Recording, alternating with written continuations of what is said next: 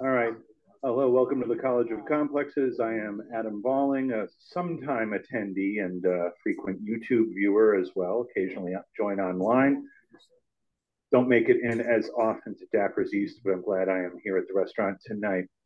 The format of the evening, as many of you may know, uh, will be first some announcements, followed by the presentation of our guest speaker, Justin Tucker, with a collection of his dank libertarian memes. Uh, full disclosure, I'm a friend of his and a political colleague. Uh, then we will have questions and answers with audience members. And then in Act Three, the rebuttals and remarks by audience members, usually for a few minutes each. The two rules are one fool at a time and no personal attacks. And now I believe Mr. Paidock is going to come up and do some announcements. Yeah. Okay. All right, and welcome back in person. You want to do it, Tim? You do the announcements, Charlie.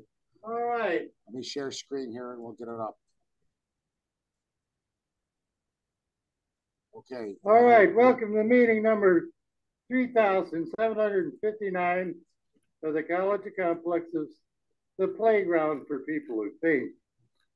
Um, let's see here. We got nine upcoming I think of nine or 10 upcoming programs. And although I'm not a capitalist, I will give advertisement for what we're going to be hearing about. On March the 30th, uh, Fran Tobin will be here to discuss uh, the situation of long-term care. Very serious issue, long-term care for the disabled or the elderly, senior citizens important topic. In April, we start our, our Earth, Earth Month series of speakers. April the 6th, Andy Anderson will be talking about things that you, each of us, can do to stop climate change. On the 13th, we're going to hear from a, uh, a candidate for the U.S. Congress on the Green Party. He's representing the Xenials. So it should be an interesting evening. They want clean air and clean water. And April the 20th, the Green Party. What congressional district? I can't remember. Worries. Uh, um, it's Champaign Urbana, whichever it is. Down Edward, Edwardsville, and it was changed district. Um, April the, okay, April the 20th, uh, the Illinois Green Party uh, state chairperson will be here talk about their agenda. Um, on April the 27th, Enrique Perez will be talking about how you should vote for anybody, anybody for president of the United States except Joe Biden. Anybody, he says. On May the 4th, our special May Day speaker, uh, Joe, Joe is going to talk about all aspects of labor law, Taft Hartley, and other elements of employment legislation. So that's a good, exciting May Day speaker. May the 11th, um, Dean Knight will be returning. He's the author of a book, and he says he has a path, a path to peace. He knows how to write at peace on May the 18th. Uh, we're going to have two speakers uh, discussing the issue of nuclear reactors, nuclear waste, and transporting these around the nation. So, storage and transportation of nuke juice. On May the 25th, um, the um, we're going to be talking about uh, voting for the President of the United States and how the Republicans have a plan to steal your vote. They want to steal everybody's vote and have it rigged. On June the 1st, just booked, uh, Tom O'Donnell will be here and he wants to know why everyone is poor. He can't figure that out. I could have told him why, but I'm going to let him figure it out on his own. At least four dates open in June. Thank you very much, Tim. Take it away. And Uh, I'm glad to see Alexis is here tonight, All right. my good friend. You wanna, any, okay, you wanna make an announcement? Go ahead. Uh, we got another announcer coming up, so, uh, up front, use the mic.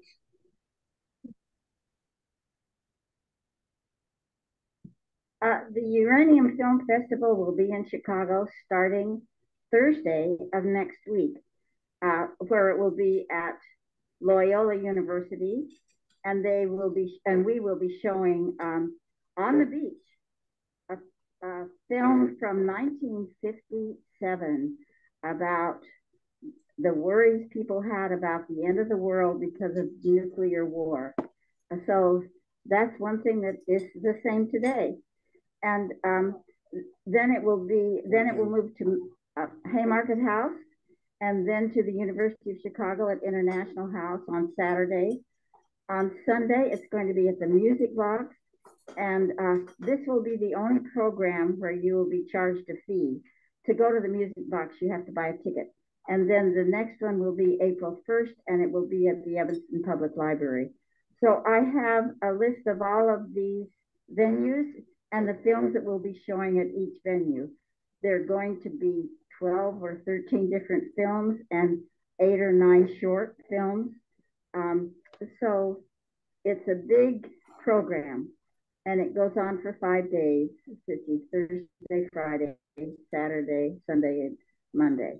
So it's it's a five day program and uh, it's a complicated program. So if you want to know anything about it, I brought flyers that uh, explain the different venues and the different films. Is it also online? This will be online at neis.org. Okay. And it will also be in line, online at a, a um, website, uraniumfilmfestival.org. But uh, the Uranium Film Festival has been going on for 13 years. It originates in Rio de Janeiro and has been a thing in Arizona, New Mexico, and um, points west for a long time. But this is the first year it's been in Chicago. So we've got a big deal coming for five days next week, and I hope you'll be interested in it. All right, I'm gonna try to put it up online before we get the speakers started, so, uh, And, and uh, this this is a um, 28 page booklet about all the different stuff that's going on in Chicago for the Uranium Film Festival. So if you're interested in that, you'll have to uh, contact me. I can send it to you online. Uh, my email is janboudart1 at gmail.com. And it's J A N for Jan. Boudart is B like baby, O U, D like David, A R T like Tom, then the numeral one at gmail.com. And I'll be glad to send you this booklet and anything about the program that you're interested in. Any day that you could go, I'll be glad to send you the schedule. because they're, um, I'm getting the schedule up online now for the USA.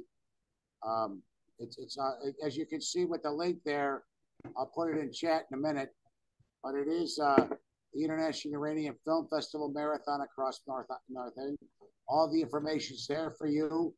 As you can see, I got it up there and, uh, the other site to look at is neis.org, Yeah. which is also the, uh, I'll put it up real quick. Well, uh, NEIS is the sponsor in Chicago. That's the Nuclear Energy Information Service. Right, neis.org. And give me a second so we can pull that up too for them. And then we'll get our speaker started here in just a second or two. Um, Any films on thorium?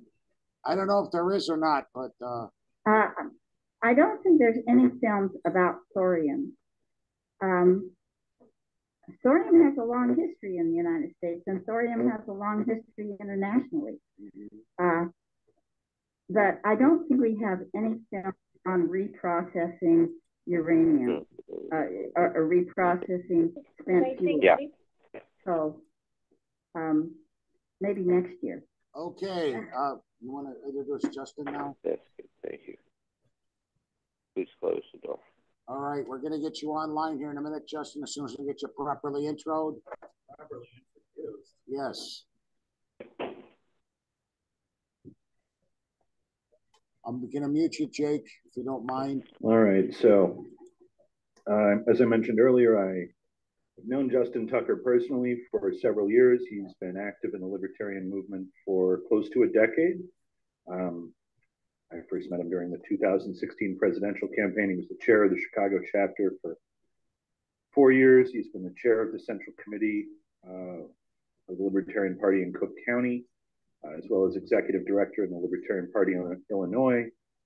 Uh, petitioned for many causes, but he is also someone who's very engaged on social media. So we have a dank libertarian meme stash, a collection of political illustrations posted on social media. He has given presentations of his uh, memes and other online contents before. I'm interested to see what he has for us tonight.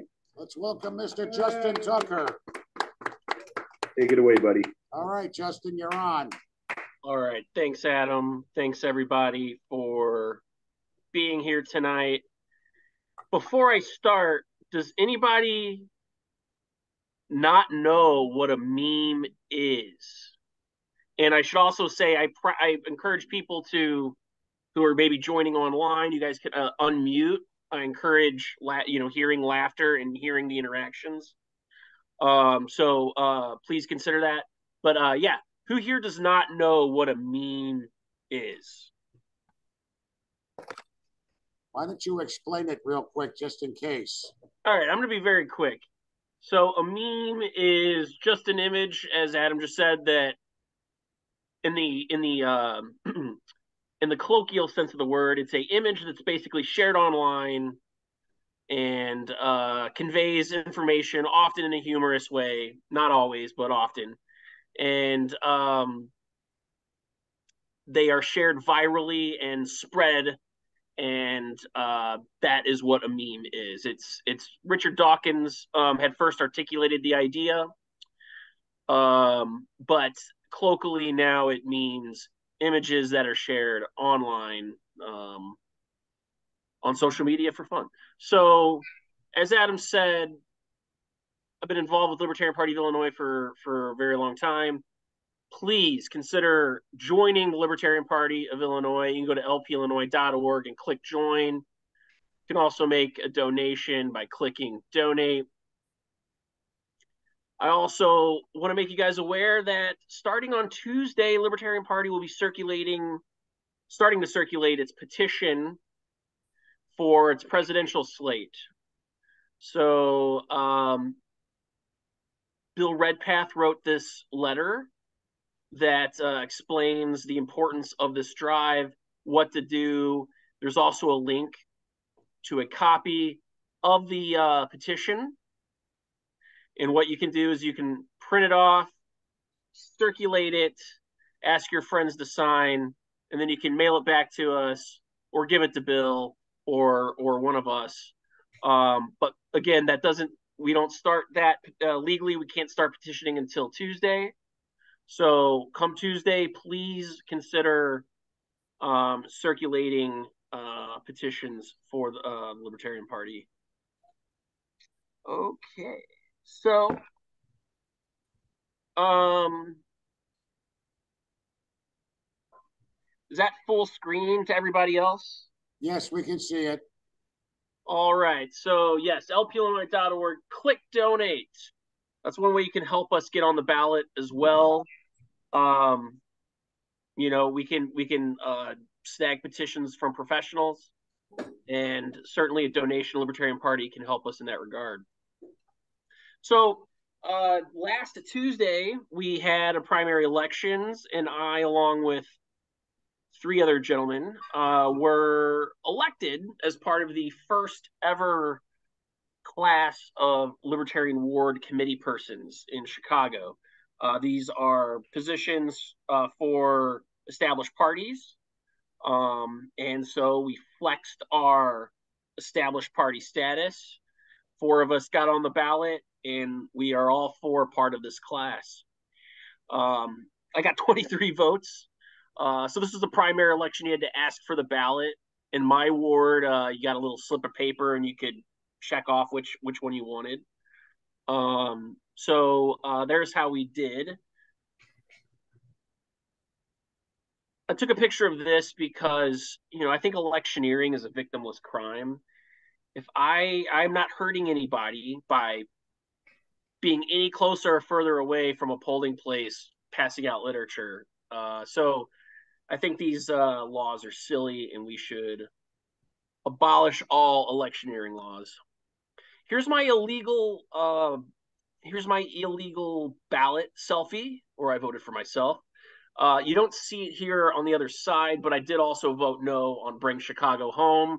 Uh, Bring Chicago Home, another socialist uh, scheme to raise taxes. Good thing it was struck down. One has a moral responsibility to disobey unjust laws.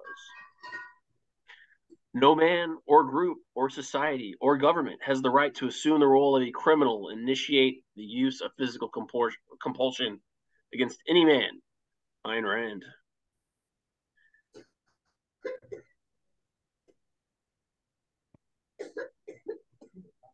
So, uh, some other recent happenings also in the Libertarian Party of Illinois.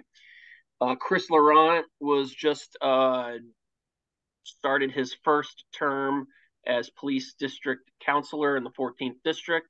This is him uh, at a swearing in ceremony. This is him in action with his colleagues. So if you're ever in uh, the 14th district, uh, they usually meet on first Saturdays around the 14th district. So come check out, see Chris in action uh, doing his thing. Libertarian Party of Illinois also recently just had a convention uh, and uh, this was um, taken uh, from our presidential debate. Uh, we had several of the candidates show up. Um, there's the audience checking it out. This was at the Clarion Inn out in Elmhurst. Um, this is Jeff Charles, who is a writer for Newsweek. He also writes at Red State. He was one of our speakers. Uh, he's got a really awesome Twitter account, so Jeff Charles. Check him out. This was uh, our one of our other keynotes. This was Jo Jorgensen, who's the 2024, uh, excuse me, the 2020 nominee. Um, so she was uh, one of the keynotes. Funny thing about Jo Jorgensen, um, she's a very sweet woman. Um, my mother, who recently deceased, she uh, I I recommended Jo Jorgensen to her, and then I was later talking to my mother. My mother was telling me about how she listened to Jo Jorgensen on a podcast and learned all about Bitcoin and cryptocurrency. So, uh, thank you, Jo, for educating my mom on cryptocurrency. All right.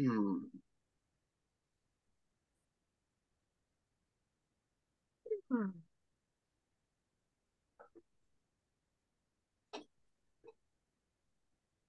So here's some of the uh, memes that LP National has. I think LP National's uh, meme game is fairly uh, fairly dank. One of the dank. Oops, come on. Excuse me. Yeah. Yeah. There we go. All right. So libertarian foreign policy. Don't hurt people and don't take their stuff.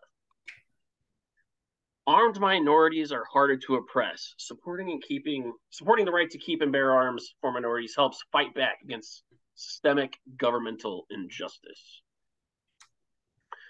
Gets our allies of the state.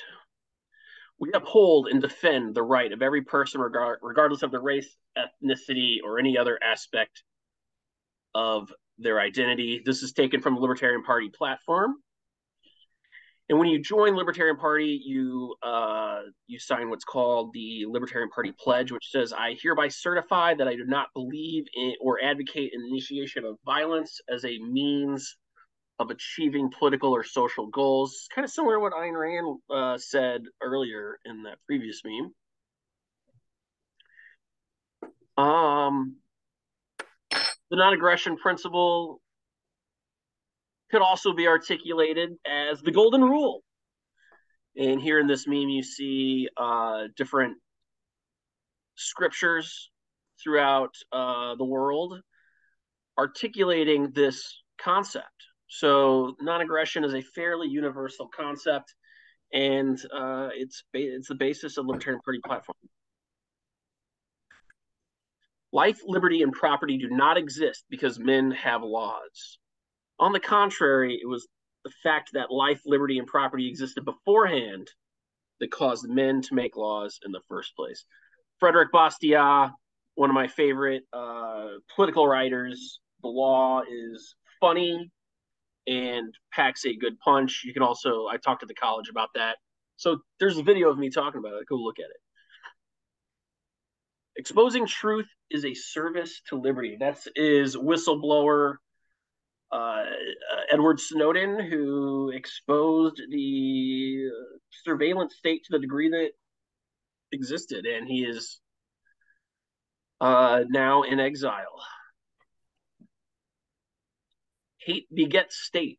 Vile people make vile leaders. This is taken from the uh, Charlottesville rally with the tiki torches.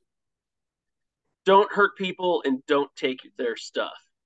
If a child can understand this, why can't governments?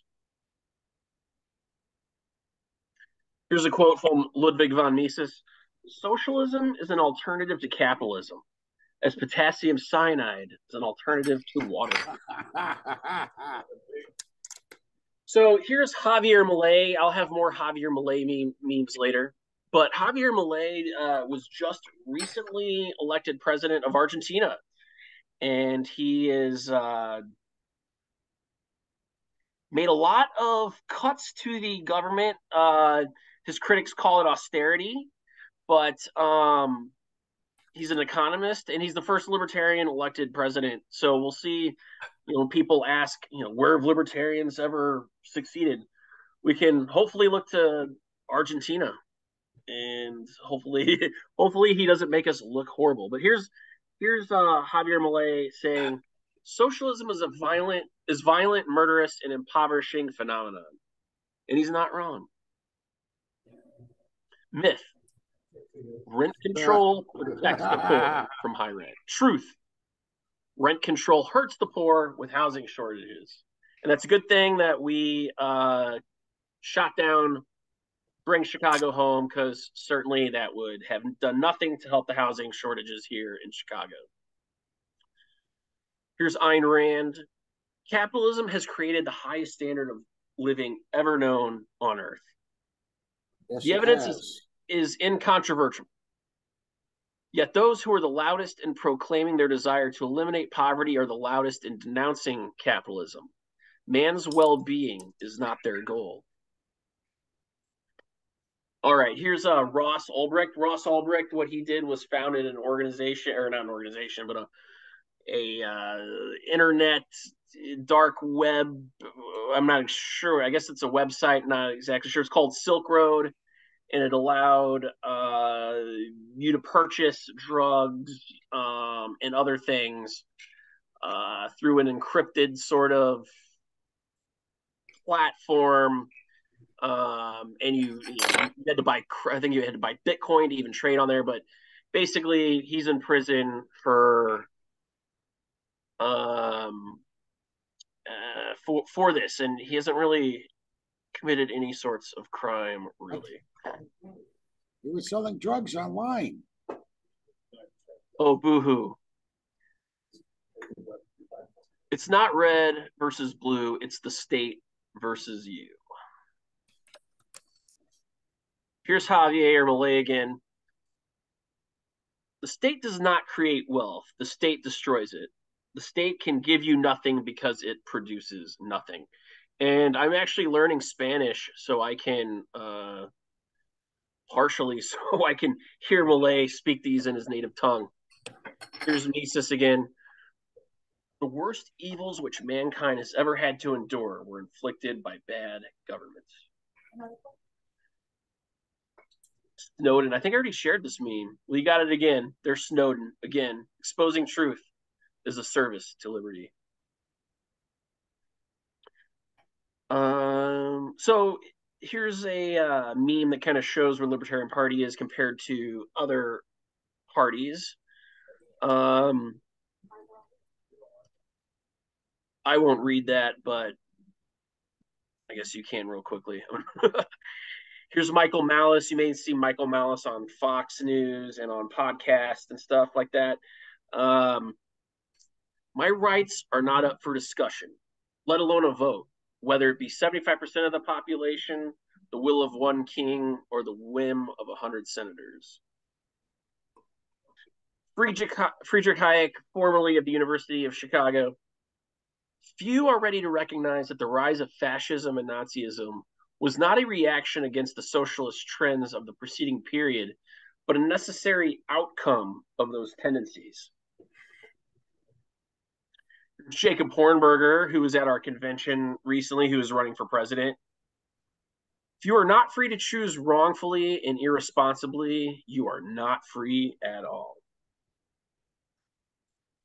Thomas Paine, who I think was a Libertarian Party member, but uh, we have him we have him quoted as saying there are two distinct classes of men in the nation those who pay taxes and those who live upon taxes and excuse me for that uh, ambulance i do live close to a fire station and a police station so here's Ayn Rand again do not make the mistake of the ignorant who think that an individualist is a man who says I'll do as I please at everybody else's expense. An individualist is a man who recognizes the inalienable individual rights of man, his own and those of others. Here's Hayek again. Economic control is not merely control of a sector of human life that can be separated from the rest. It is the control of the means for all our ends. Walter Williams, Prior to capitalism, the way people amassed great wealth was by looting, plundering, and enslaving their fellow man. Capitalism made it possible to become wealthy by serving your fellow man. Here's Milei yet again. The enemy is socialism. The enemy is statism. The enemy is collectivism. And all those who are willing to fight that fight, we are all together. And yes, I am a libertarian, and yes, I would nitpick, and yes, I would probably. What's wrong with collectivism to Javier Milei? Uh, well, that's still a good quote if you're in if you if you define those words uh, the way say Ayn Rand would. Here's Ron Paul.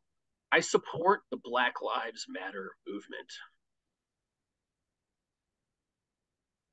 Here's Friedrich Hayek socialists understood economics, they wouldn't be socialist. Here's Leonard Read. Leonard Read was the founder of the uh, Foundation for Economic Education, uh, better known as FEE. There is no moral distinction between the act of a pickpocket and the progressive income tax. Uh, this is uh, in light of some recent in the news um, happenings. All your freedoms all of the time includes illegal immigrants regarding guns. The right of the people to keep and bear arms shall not be infringed. Whoop.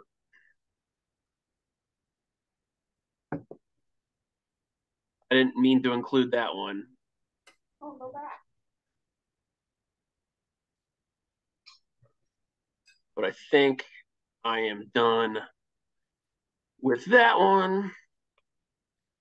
All right.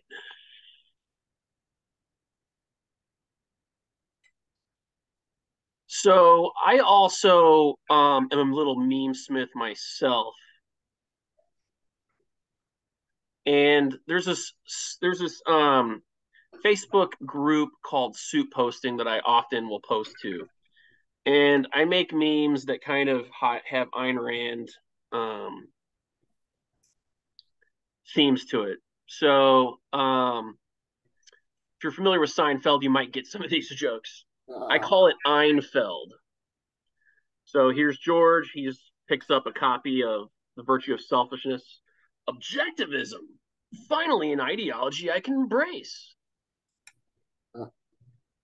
Here's uh Here's uh, Mr. Ross. Dagny Taggart has sex with them all. Here's Uncle Leo interrupting the PBS pledge drive. This is John Galt speaking. Huh. So this is Jerry. Uh, if you remember the low fat yogurt episode, instead of low fat yogurt, he's got We the Living by Ayn Rand. This is so bleeping good. Don't let anybody see it. Don't let anybody happen to it. And he's giving him Atlas Shrugged. In the original, it was Tropic of Cancer, I believe.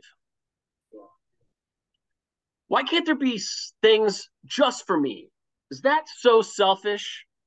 Actually, that's the definition of selfish. he put it out. Atlas Shrugged, that is. Uh, to make a person feel better, you shouldn't say God bless you. You should say, Who is John Galt? yeah. I think I can sum up the philosophy for you in one word selfishness. Um, this is, if you remember this episode, it's where George's talking about moving back in with his parents. Maybe this would be like a cool thing, objectivism then maybe selfishness will catch on. I think those are hilarious. If you're not into Ayn Rand or Seinfeld, you might disagree, but I think they're classics.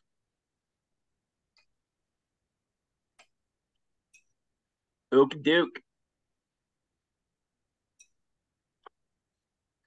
So this isn't so much a meme as a picture I took somewhere out in the Chicago burbs. I was in my car in Lake Zurich. All right. So that was yeah, that's where it was. Uh so it's kind of funny they still have this sort of Reagan era dumb stuff plastered places. Uh here's a picture of Johan Norberg who I met for a second time just recently uh when Cato came to town. Mm. Johan Norberg just released a book called The Capitalist Manifesto. Yeah. And uh he was in town to promote it, and it was a cool event. Me when the feds show up to steal my guns. I'm a Mandalorian. Weapons are part of my religion. Biden says anti drug policies harmed black communities and it was a mistake to support them. That was uh, November 2020. Biden seeks to snuff out menthol cigarettes. FDA ban to ban expected due to effect on minorities' youth. And then that happened uh, not even a year later. So that was a bleeping lie. Libertarians, when anyone within a five mile radius complains about taxes, this is the way. Mission on presidential debates. Voters wanting better options and then of course third party candidates muzzled uh, by the Commission on Public Debates, uh, Commission on Presidential Debates, excuse me.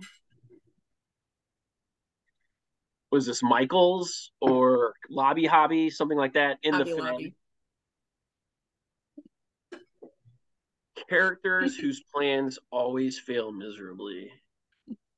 Yeah, Wiley Coyote, uh, you got Tom, or yeah, Tom. That's Tom, right? And then you got Comrade Snidely Carl Whiplash. down there. I'm sorry. Snidely Whiplash. Mm. And then, of course, the other guy we all know. I want gay married couples to be able to protect their gas stoves with guns. Oh, new variation. Find someone who looks at you the way AOC looks at your paycheck.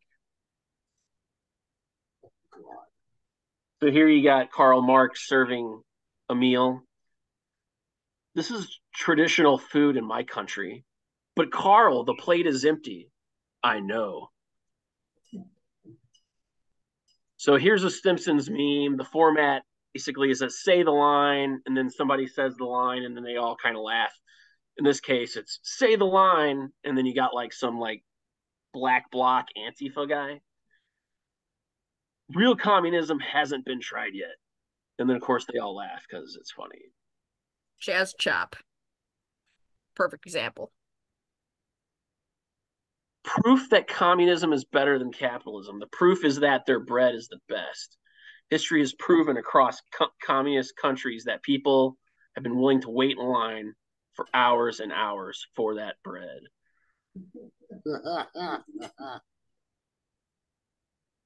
Yo, I'm gonna seize one of those smokes real quick, bro. Carl skid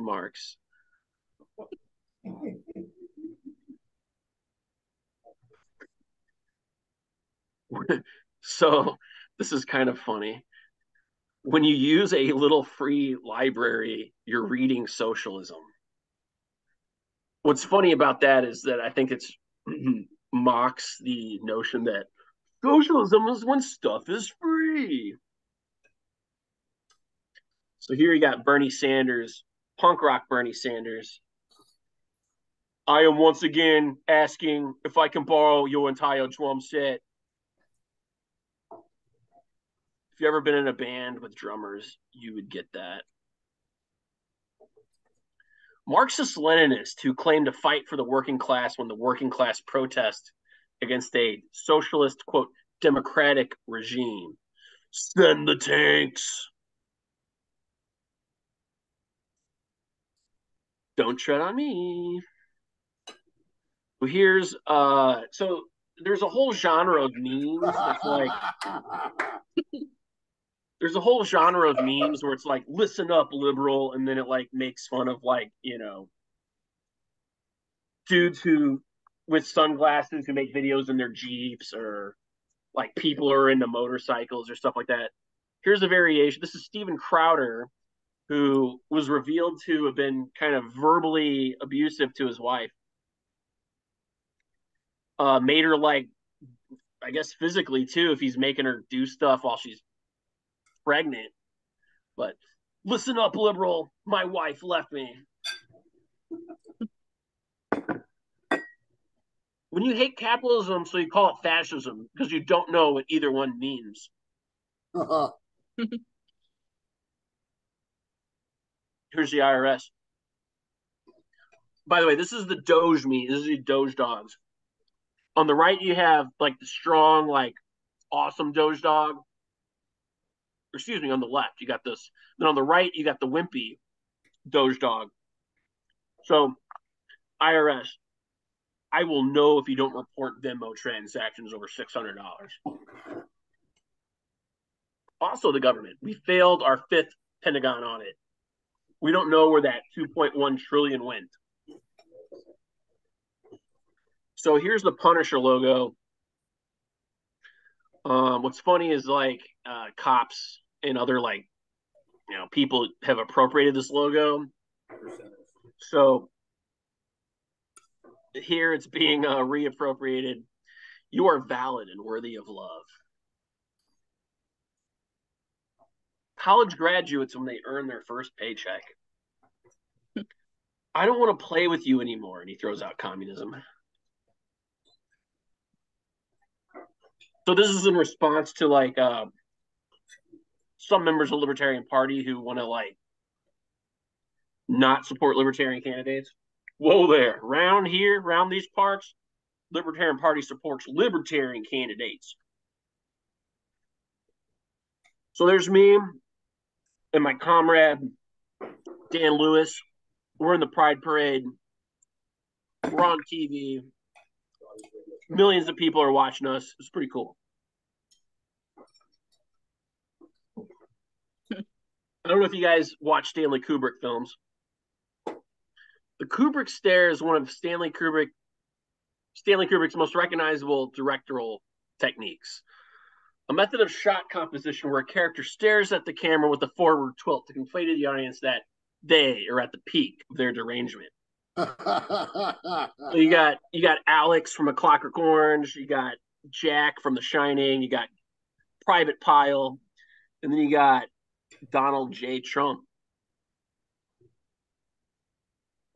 So here, here's a, here's another genre of memes similar to the uh, related to the listen here liberal memes, but it's uh, listen here, cuck.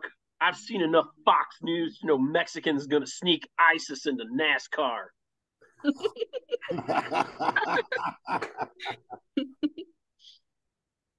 So here you got communist ball with an iPhone and daddy's money. When you've never even set foot in a factory, have no engineering or business background, and can't put together flat pack furniture, but you don't but you want to seize the means of production. don't tread on me. So there was that kid who uh I guess he got disciplined for wearing a uh a Gadsden flag on his book bag. It's making fun of that. So here you got some OnlyFans models. I hate how these e-girls swindle lonely, unsuccessful guys out of their money by offering them false hope and a fantasy. I don't know who the names of these models are, but that bottom left-hand model is pretty cute. One of them is Belle Delphine. That's the gamer girl, bath water girl. Well, here's another variation on the Gadsden flag. Who can it be now? God. I'm sorry that some of these are smaller and bigger than others. Uh, You could resize them, Justin, with your camera I phone. was just about to say that. Yeah. but uh, sorry, this one's really small. But what it says is step one, destroy the state. Step two, and by the way, if you can't see it, it's it's the communist ball. Step two, create a new state. Step three, don't call the new state a state. Step four, to continue to deny that the new state is a state, even though it acts just like a state. I think that's taking a a, uh, a knock at Comrade Lenin there. So here's Jesus, thou shalt not steal. Everybody in this group, I'm stealing this meme. And then Jesus is gonna, what's up, man? Why you gotta steal? Libertarians call um when they steal memes, they call it taxing. Yeah. I'm gonna tax it and, and redistribute too. So when you share it, you're redistributing it. Exactly. So you've got the distracted boyfriend uh, meme here. He's checking out. He's a Cuban, right? So he's checking out Liberty, and then you got my communist barista at Starbucks who's jelly, but the Cubans are scoping out Liberty. So uh, the guy in the bottom, or excuse me, the guy in the top right is a YouTube guy. His name's Mr. Beast. What he does is he basically gives a lot of his money away. He like digs wells in Africa and all sorts of other things. So here you got the communist NPC guy. The rich should give their fortunes to the poor. Okay. And then the communist NPC guy gets mad because he did it voluntarily. What is the most libertarian thing about Donald Trump? This is a Twitter poll bump stock uh, bump stock bans, vetoing the Yemen bill, reauthorizing NSA spying, airline bailouts. Those are just four things. I'm sure there's way more. I can't make I can't make it. I have plans. My plans. Oh. Being all snug and the virtue of selfishness. All right. Here's Javier Milei uh, oh. with his chainsaw. Viva la libertad, Kiarho. Ah, Carajo. He's got that Kubrick stare. He's got a- Yeah. Carajo. He does got the Kubrick stare. he's the one who took over Argentina, right? Yeah. Yeah. was elected Well, took over. He was elected. elected. Elected in the last couple by the people. Democracy. I meant recently sworn. That's All right. So we have uh so Steamboat Willie just went into the public domain. So you don't have to uh pay Disney royalties to to uh to do the, something like taxation is theft on Mickey. Here's Bono from the U2 if you're if you're unaware. In dealing with poverty here and around the world, where welfare and foreign aid are a band-aid, free enterprise is a cure. So you get a lot, a lot of these people who are, I guess, uh, really angry about inflation. I think are blaming the wrong person. Uh, so here is uh, here's a graph of when a bunch of money was printed, and you'll see that it was under one particular president. I think you can blame all of them still. Sure. Uh, but I mean the the rate at which it had, you know. So here's Javier Milei giving a speech to the World Economic Forum where he basically uh, gave him a stern talking to. Told her it's Mozart. He's got the baby listening to Javier Milei. There's, this is Javier Milei. He is traveling to Davos, Switzerland to be part of the Economic Forum and attract investments to Argentina. Do you notice something different? Yes, no luxury private plane. He's waiting to board a commercial flight like everyone else. A real man of the people like Bernie Sanders. Uh, so, so you know, you know, those action movies. You know, there's an explosion, the guy just walks away. Yeah. Kind of like Javier Milei at the World Economic Forum. He just drops a bomb and walks away like it's nothing. I've seen that same meme with Trump coming in, in the background that says Democrats. Oh well. Used for a lot of stuff. So here you got Drake, who's repelled by the thought of eating bugs. But what he does like is Javier Milei's cool chainsaw. Uh, hit me up for my pricing for my homeschool program. We're just going to show a bunch of kids some Javier Milei memes. Uh, so here at the top, you've got Ricky Gervais. Ricky Gervais uh, basically roasted the entire room as host of the Golden Globes, uh, often mocking them for their connections to pedophiles and, and Jeffrey Epstein and stuff like that. So similarly, you've got, he's similarly you got Javier Milei roasting the econo- uh, World Economic Forum. So here you got baby, you got baby Cardi B. My mama said y'all only love season the means of production because establishing it will require consistent effort and personal sacrifice. And Cardi B's mom is absolutely correct. Here's Ludwig von Mises. He wrote a book called Liberalism. But for the liberal, the world does not end at the borders of the state. In his eyes, whatever significance national borders have is only incidental and subordinate. His only political thinking encompasses the whole of mankind. The liberal, therefore, demands that the political organization of society be extended until it reaches its culmination in a world state that unifies all nations on an equal basis. Whoa. Jo Jorgensen says the harsh reality of the two party system is that no matter who gets the nomination, the American people lose. So here you got one of these memes from Star Trek, uh, and it's um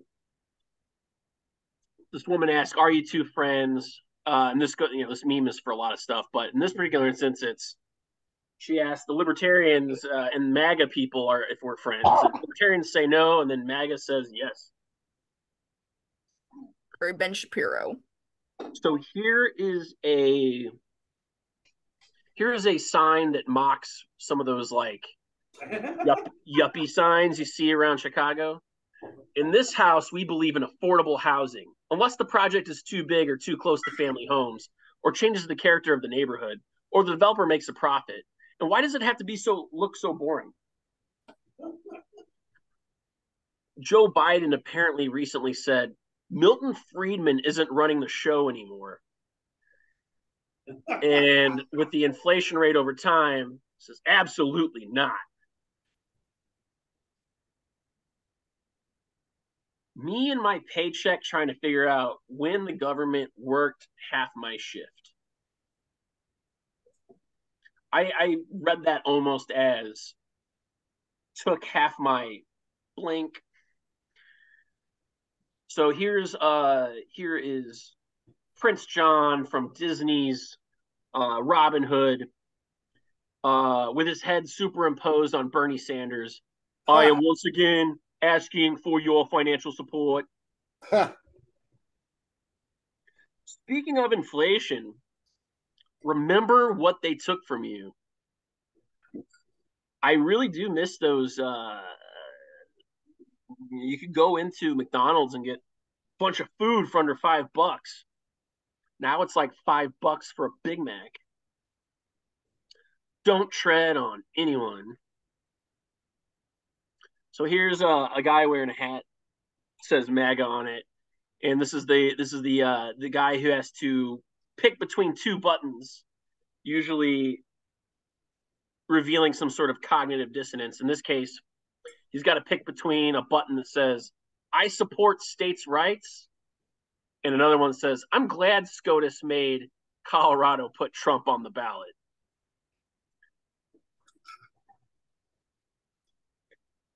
So here's Jerry Seinfeld.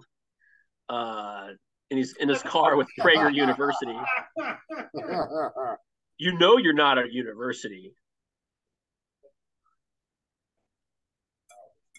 College kids, after graduating and seeing the taxes from their first check, they go from Bernie into Javier Milei very, very quickly, as you can see.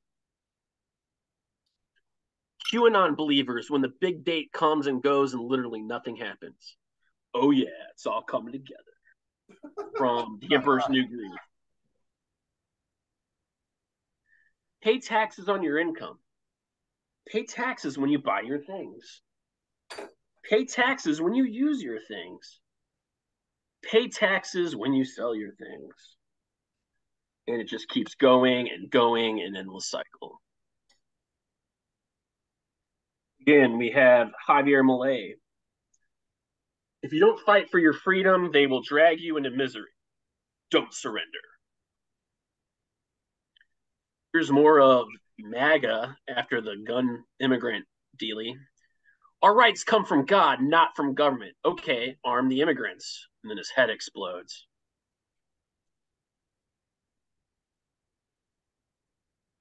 Oh, you got Tobe Hooper, or not Tobe Hooper, uh, Tobey Maguire. Tobe Hooper is the director of Texas Chainsaw Massacre. You've got Tobey Maguire here, uh, better known as Spider Man, enjoying writing down some things. Karl Marx writing a utopian fantasy book while his son is starving to death.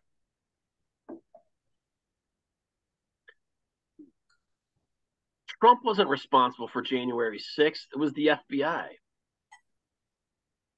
Donald Trump oversaw the FBI during January 6th. Uh, here's here's more of that listen up liberal. Listen up liberals the Bible says, crank not, yes, be cranked yourself. All right. So uh, here you got a Barbieheimer reference, uh, if you recall. Barbie, uh, you know, both those movies opened on the same day. Uh, so you got you got a really depressed and somber uh, Robert J. Oppenheimer living under socialism, and you got Barbie, She's got her car and cool house, living under capitalism. Hey, here's me uh, with a couple of awards from people in our chapter. Uh, Chris Laurent, Ward Libertarian Rookie of the Year. Uh, as you recall, he's the first uh, elected libertarian in Chicago. And then Michael Murphy won the Outstanding Young Libertarian Award. You can vote for him in in November if you live in Cook County for uh, your uh, clerk of the circuit court. So here's what an insurrection means a violent uprising against an authority or government. An act or instance of revolting against civil authority or an established government. An organized attempt by a group of people to defeat their government and take control of their co- country, usually by violence. Insurrection, an act of or instance of rising in revolt, rebellion, or resistance against civil authority or an established government. Just throwing it out there, just what those words mean. Um, I meant to share this one earlier, but hey, me, Nico Satsoulis, uh, Jim Hume, and Danny Lewis. This is our blurb when we were just in Politico the other day. So, um, Politico gave us a uh, we were on their radar and they pointed us out in their newsletter. Didn't someone call you to congratulate you?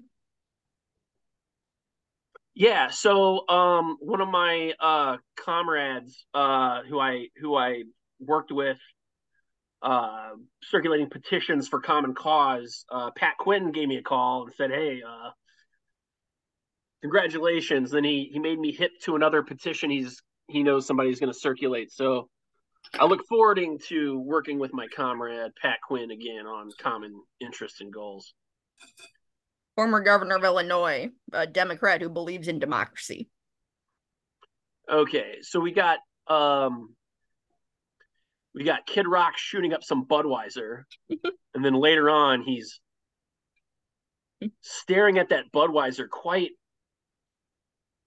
romantically, I guess I could say. What Uh-huh. politicians say during campaigns versus what they actually do. Uh, this is, uh, I believe this is taken from Gallup, or this was uh, another one. I think one of those polling organizations, but support for a third U.S. political party up to 63%. Um, I don't know if you guys are big into the movie Doctor Zhivago, but I am.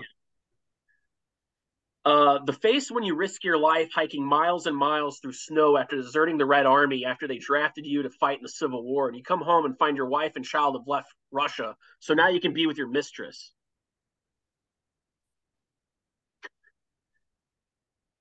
Uh, Okay. Uh, I think it's funny. Okay, here's Jo Jorgensen. If you only support the Second Amendment when it applies to people who look like you, you don't understand the Second Amendment. Another reference to the recent uh, gun controversy. Whoa. What? Am I out? Am I done? It's the fancy, Justin, you might be. Are you looking to take questions now? Yeah, it's been almost an hour. I, I think the last time I was, uh, I think I, I overstayed my welcome last time. So yeah, we, we can move into Q and A. Sure. All right, you You want want to? to win a round of applause? Yeah, I'm gonna let. uh You want to moderate the questions tonight? Well, we have, um, um, shall we say, uh, enough elbow room in our attendance here that we might not need one. And I'm going to have to visit the facilities, but I'd like to open with a question, if I may. Uh, Mr. Tucker, what about uh, something that I have found bizarre? I know you're much more savvy with social media than I am. I'd like your opinion of something strange in the world of shared online still images. The idea of NFTs or non fungible tokens is basically means that people would not only sell for money, but actually treat in some ludicrous way as a sort of faddish investment. Like, uh, oh, maybe this meme is going to go up in value in six months and I could use it as a form of currency. So, could you give us your insights on that one? Yeah. And thank you again for a fun presentation. Okay. Um, to be quite honest, I have no idea how any of that stuff works. I have no idea what gives NFTs their value. I have no idea how you transfer it or anything. I, I honestly couldn't tell you. Maybe somebody else in the audience knows the answer, but I do not. And I'll, I'll just say the former president of these United States, who's running again, was selling these last year before the big crash in the non fungible token market, where you could buy. I don't know if you want to dial them up because they burn my eyes, but where it, like if people have not seen them, they're like drawings of superheroes and action movie heroes with Donald Trump's head imposed on. And it's one thing if this is sort of joke imagery that people are sharing with each other, like a you know sort of electronic political poster.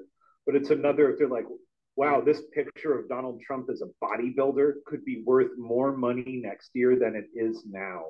It is the most delusional thing I think I've ever heard. Well, Anyhow, it, I could set up the next question before I run off. well, the thing is, you Can gotta remember that that's what people value, and if they're if there's enough trust in that value, it'll it'll sell. Uh, but but it sounds well. We'll, we'll do that in rebuttals maybe. Uh, Alexa, do you have a question? Oh, I was gonna say I could speak a little bit to NFTs. Uh, you didn't sit your rebuttal. Yeah, I don't, I don't totally derail the Q and A train now, but it, I, I I look forward to your wisdom later. Well, Alexa, maybe you can explain what an NFT is and give your thoughts in lieu of Justin not uh, knowing exactly what it was. And if you don't mind showing yourself, it'd be nice, Alexa. Okay. Yeah, I'll show I'll show my face again. Okay. Yeah, so to my understanding, NFTs were initially started as a way to um promote uh content creators slash artists in di- digital media because you know you can design like these really cool graphical things and you know say what you want about Donald Trump having you know being superimposed onto a muscular dude but I guess I don't know. I mean if somebody drew that by hand or whatever you know that's that is art. It's not you know question the artist's thing but but yeah that's that was apparently the purpose of them was to support um digital content creators and artists uh however they've kind of become a joke and they've also led to like all kinds of copyright issues in terms of like some people were like there were NFTs from uh Pulp Fiction Quentin Tarantino's movie and that was like it's not not a very it sounded like a nice idea in theory and a way to support people who otherwise don't usually get a lot of money for their craft but uh in actuality has not worked out well Thank you for the insight. So it sounds more akin to like, um, yeah, artists selling a painting, but right, I could see if there's a glut of velvet Elvis paintings. Yes, exactly. Or exactly. kid scribbles on the placemat, even though I didn't bring my daughter tonight, was probably less Well, that's some marketable value. Um, Some of these so-called artists are nothing better than kid scribbles. now, should I get us back right back to Q and A? Uh, who, who who may have the next question? Uh, Vic, Yeah, Vic. Do you want to come up to the thing? Yeah, come podium? on. Yeah, come on up so they can hear you out on the, uh, right. out in, out in, uh, yeah, Hey there, uh, Justin. I thought uh, some of those, it looked like one of the sections of your meme presentation were ones that you made, and uh, I was, I thought a good number of them were actually very good. I thought some of them were very smart and on point and incisive, and then some were like just straight up hilarious. So I just wanted to uh, uh, acknowledge your efforts there and say that you did a good job with that. Um, I do have a, a couple of questions. I'll try to um, get through them as quick as I can. Uh, you mentioned something about electioneering laws and getting rid of them. I hadn't actually considered whether they're good or bad, or whether you know it's a victimless crime, as you said, or whatever. Um, so I don't know enough about a case for or against electioneering laws. Could you, if you had to steel man the case for election laws, fully acknowledging that you don't think they're good, if you had to steel man the case for that, what would that case be? Um, I guess my steel man would be that um that it it cuts down on aggressive sort of campaigning, uh, sort of uh, maybe too. It might influence people too much. I I it might sway them when they otherwise would not. Uh, perhaps as a barrier to ensure that people aren't being blocked from voting. So you know, not only harassment from people who are like, "Hey, you're taking, you know, vote for this guy," but also like maybe people who might, no, you can't vote. Period. Uh, perhaps. Um. Uh, that's. I mean, I'm sure I can maybe think of others. Those are those are a few that off the top of my head I can that that pop out at me. Okay, fair enough. Um, you met there. There was a meme that had uh, Ron Paul saying that he supported the Black Lives Matter movement. Do you know when he said that, and what context? Like, do you have a? Yeah, the context was abortion, actually. Um, I don't remember exactly when. I think it was probably like in the 2010s, so before George Floyd. Oh, uh, but he was specifically talking about abortion. Actually, uh, he was lamenting the fact that uh, many many black folks were were performing abortions. Oh, so the, oh, so it wasn't like oh, I see. Okay, so it was a play on BLM, and it was sort of like a anti-abortion message because of the high proportion of uh, aborted black babies or something like that. Am I getting that right? That is the context. Gotcha. Okay, thank you. Um, Mises, did he really support a world state like legit? That was his quote.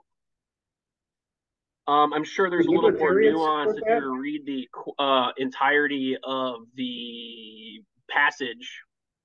Let me see if I can find it real quick. Okay. So that's page 145. It doesn't say what which uh it doesn't say which edition. Okay. Um but yeah, I mean that's I'm that's quoting him right from there. Gotcha. Do do do, libertarians and or the Libertarian Party agree with what Mises said on that? Like, do they think a world state is a good thing and we should like like for example america should relinquish its sovereignty in favor of like an international government like the un or something um i'm not sure uh exactly if if uh mises is i don't i don't i mean i don't know if he ever said relinquish sovereignty. Um but i imagine i mean let me think i mean i i like to think the united states of america the constitution. I've said this before, perhaps here, that international treaty where uh, there's extradition laws, there's currency, there's the collective defense, there's you know guarantees that you know you're you know states can't uh, violate, you know, do certain things to violate your rights, that sort of stuff. Um, so I already kind of look as the United States as sort of being similar to to that. I imagine, um, like I don't, I mean, so I mean, I guess you can say that we, this, you know, just by being in the United States of America, the states have already kind of relinquished sovereignty Okay. Uh, so we can have, you know, what I, you know, all the things I just listed above. Okay, I have like maybe one or two, and and uh, then I'll be done. And just uh, thank you to everybody else for for putting up with it. Um, oh, and hold on, let me. I didn't. Uh. So, to, and, and I think you to answer a, a, another part of your question. Pardon me. You said, is that a popular position within the LP? Oh yeah, I have yeah, not yeah. done a actual poll um, I would say, uh, I would say from what I can gather, from what I hear people say, that they would be against sort of one world government. Um, I would, yeah. Uh, but uh, you know, libertarian thought is very diverse, as illustrated by this Ludwig von Mises quote, and it's very possible he may have changed his mind on it. I don't know couldn't tell you because I haven't read everything that Mises wrote. Gotcha. but um, I mean, this was also he he wrote this at you know in the interwar period, so I'm sure World War One was fresh in, in in a lot of people's heads, and I'm sure a lot of people were very you know we seen what what kind of jingoistic nationalism does. Um, so perhaps you know, per, you know, I, I think that he was writing this with that background. Gotcha. So, uh, you know, Okay. Um, I saw there were two memes that, um, if I'm not mistaken, the like sort of uh, pink and baby blue colors, you know, especially if you see it on a flag that that represents like trans or trans people or trans rights or trans movement or whatever it is, right? Um, one of the memes was like a snake that had those colors, and another one was like the flag, but it had the libertarian porcupine on it or something like that. Um, I guess my question is, do does the Libertarian Party or do libertarians, small L libertarians, either one, do they have a position on transitioning minor children and puberty blockers and, and stuff like that? Um, I'm not sure if there's an official position. I think that uh, what most people would say probably is consenting adults can do what they want with their own body. They own their bodies. If they want to transition, uh, people are certainly welcome to do it. I'm sure a lot of libertarians would also be against any sort of uh, you know, fund, you know, public funding for transitioning or, or things like that. Sure. Um, I personally would not recommend transitioning children. um, for the same reasons, like we don't let children do a lot of things. So would libertarians be okay with a law that made it illegal for parents to decide to transition their minor children? That made it illegal? Correct. to Transition? They're minor children. So, yeah, that wouldn't be parental consent. it would just be What do you mean by transition? Going from a female to Gender a male. reassignment surgery, puberty blockers, you know, irreversible steps to alter the physiology of minor children. I'm not talking about. I'm sure some of them would. I, I don't Just know. to clear, I, I just to be can't. clear, wait, hold on. Just to be clear, I'm not talking about like, because I know there's like degrees of transitioning. I'm not talking about like, oh, you know, the boy is dressing up like a girl and he's acting like a girl and wants to be referred to with a girl's name. You know, like I'm not talking about that. I'm talking about irreversible physiological changes, things done through, say, surgeries, puberty blockers, things like that. I don't Well, know what all other can't libertarians say. I don't. I mean, I can only. The only thing official that I can point to would be from our platform or other statements. I don't see any statements that say that that that just other than uh uh yeah, I don't I can't point to anything that says that supports children doing it. Um, but I would imagine that I'm going to guess that many of them, myself included, would recommend not doing that sort of stuff if you were a if you were not an adult.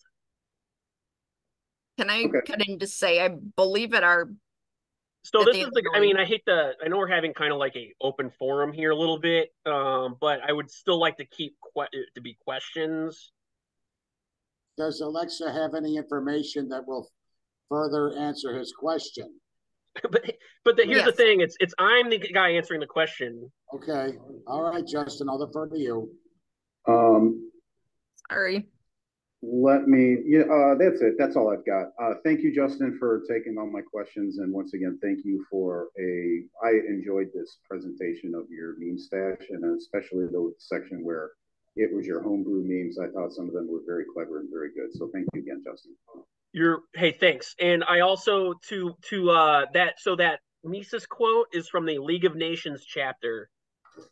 Uh, in uh, or the it's for it's in his liberal foreign policy chapter, the sub the sub chapter on the League of Nations. Just so Alright. you know. All right, Charlie, go ahead. Okay, about our ten or twenty questions. You can, Ten or twenty, ques- you know, thirty, you at a time in sequence. Bring him, Charlie. Yeah, go ahead, Charlie. Back off, back off a little bit. Here, hang on. Just, just. Justin, Go ahead. all right, Justin, um, you, you sort of emphatically dismissed, uh, voting for this referendum, uh, that would mean the government would do something to alleviate uh, homelessness. And we've had multiple programs at the college that would indicate the total number of homeless people in the city is woefully underestimated. People are moving in with their friends, relatives. Uh, sometimes homeless people somewhat get together.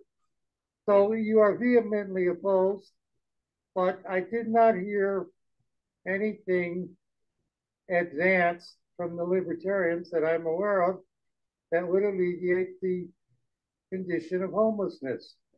You are opposed to it. So what alternative is the Libertarian Party advancing instead? So what was your question again? I'm sorry. What is the Libertarian Party advancing instead of the referendum to eliminate the incidence of homelessness in the city?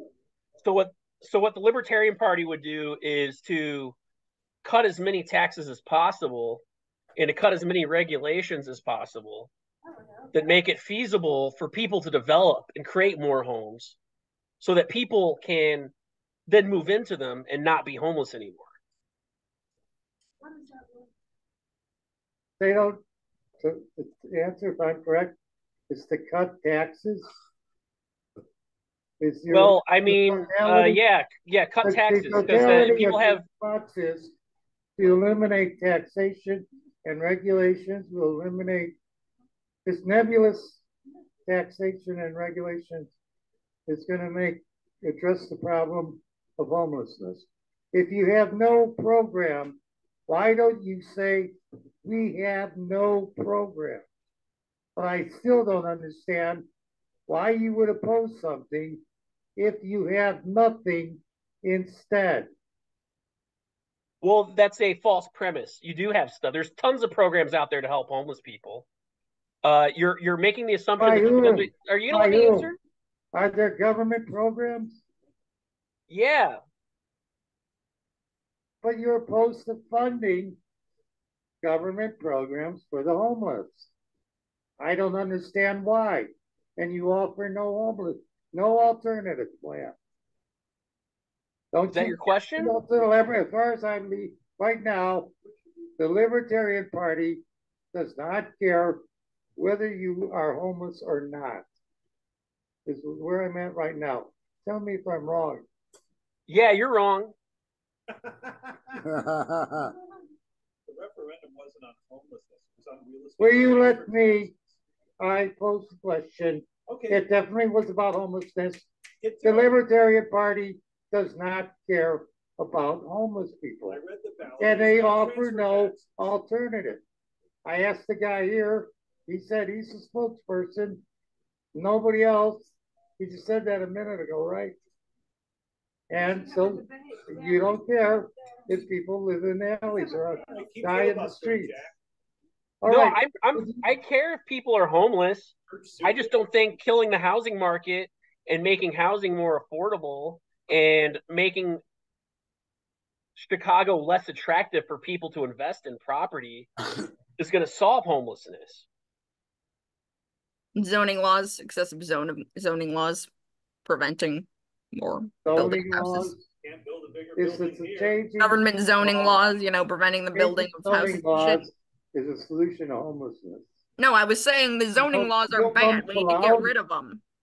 Well, people can't people uh people are homeless because they don't live in homes, right? Why, I don't, boy, this is a tough question now. What is a homeless person? Gee, I never thought of that. Okay, so. You don't think wouldn't it logically Charlie. follow that if you make Let's move on to housing more next one. available, that it might guys got no- alleviate some no- of that issues? You don't really care what happens, as far as I'm concerned, that the Libertarian Party took a position on an issue and yet offer no alternative. All right, no problem. Next question is, since you get a dozen questions here, we had a lot of memes that concern ethics. And there's a lot of poor people in the world. They don't have a lot of money, and there's probably poor people exceed by tenfold the number of rich people. And somebody said we should take from the rich and give to the poor. The Libertarian Party opposed to ever doing that. And it's Is not, the Libertarian how do Party they- How do they tell people, to all the poor people, what they should do to alleviate the situation? what does the libertarian what should the libertarian people tell poor people? Yeah, it's a, shouldn't, we- shouldn't we take from the rich and give to the poor? You seem to So I think that libertarians allowed. libertarians you don't allow that, you don't want that, right? So what? Hey, you, you I. I can't keep track of how many questions you've answered you've asked that I haven't been able to answer yet. I'm off. So we'll we'll try to start. I'm Uh, sorry, you're we'll take one one at a time. All What right. question do you want me to answer first? Go ahead. I well, which question do you want me to answer?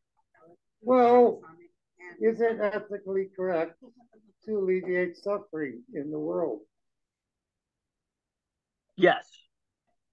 So, oh, you can take from the rich and give to the poor, right? Under No, which- because then Well, the you have a- then An obligation to do so? They no because A duty? are you gonna are you gonna let me answer? And t- is Tim gonna ever gonna moderate? He's not here. Is anybody else gonna moderate? Tim, are you Okay, gonna let me yeah, answer? I can moderate. Charlie, shut the fuck up. Come now. With all due respect.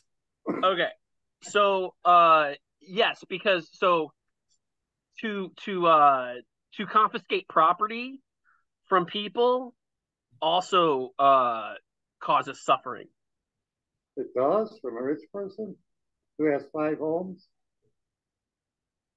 is their property uh is it because they have five homes they they does they can the state can cause them more suffering than others That's suffering.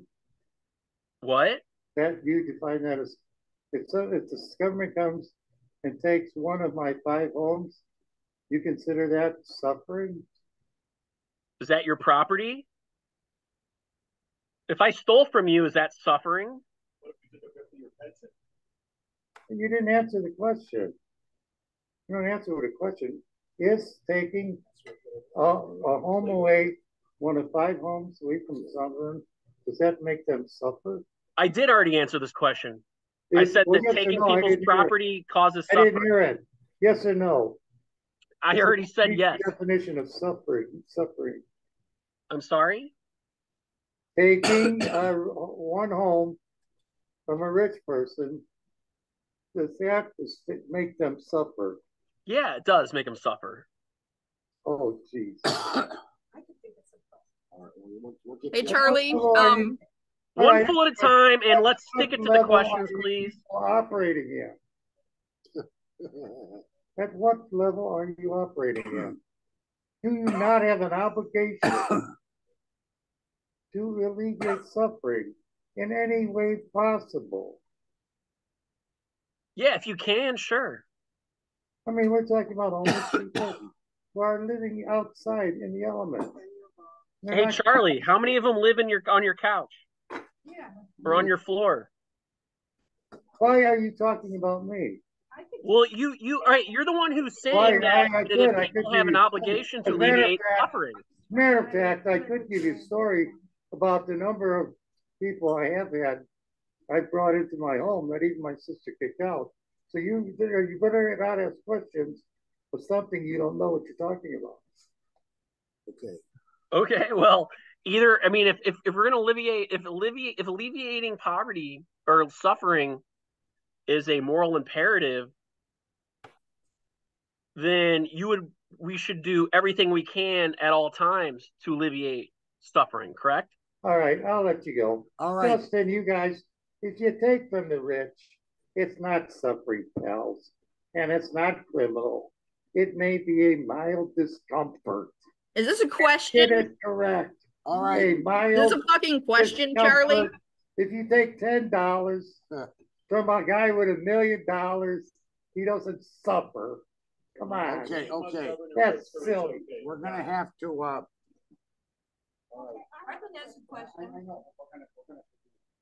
all right, um, You guys, you guys really took. a right now, I'm gonna have to do a quick reboot, Justin. So I'm gonna assign the host of the Zoom call to you. We'll be back as soon as I get up from this thing because this internet, this internet connection's gonna be going to be toast in a few minutes and I gotta renew it because it, we're using the uh, one right now next door off of the store and they only allow about two hours on. So I'm just gonna have to, uh, got reboot real quick and then we'll go, we'll continue with the questioning. So first. Alrighty. Justin as temporary host until I get back online. That way we don't lose the Zoom connection, so just bear with me, please. All right, Justin, I'm gonna make you host and then we'll be offline for a few minutes. And then I'll, uh, Libertarian parties that are frozen by nineteen seventy-one. When they came Okay. up with their, with their platform, all right, and they froze in nineteen forty-eight. Justin, you're now host. All right. I'm gonna reboot real quick and we'll be back online shortly. Like ideology.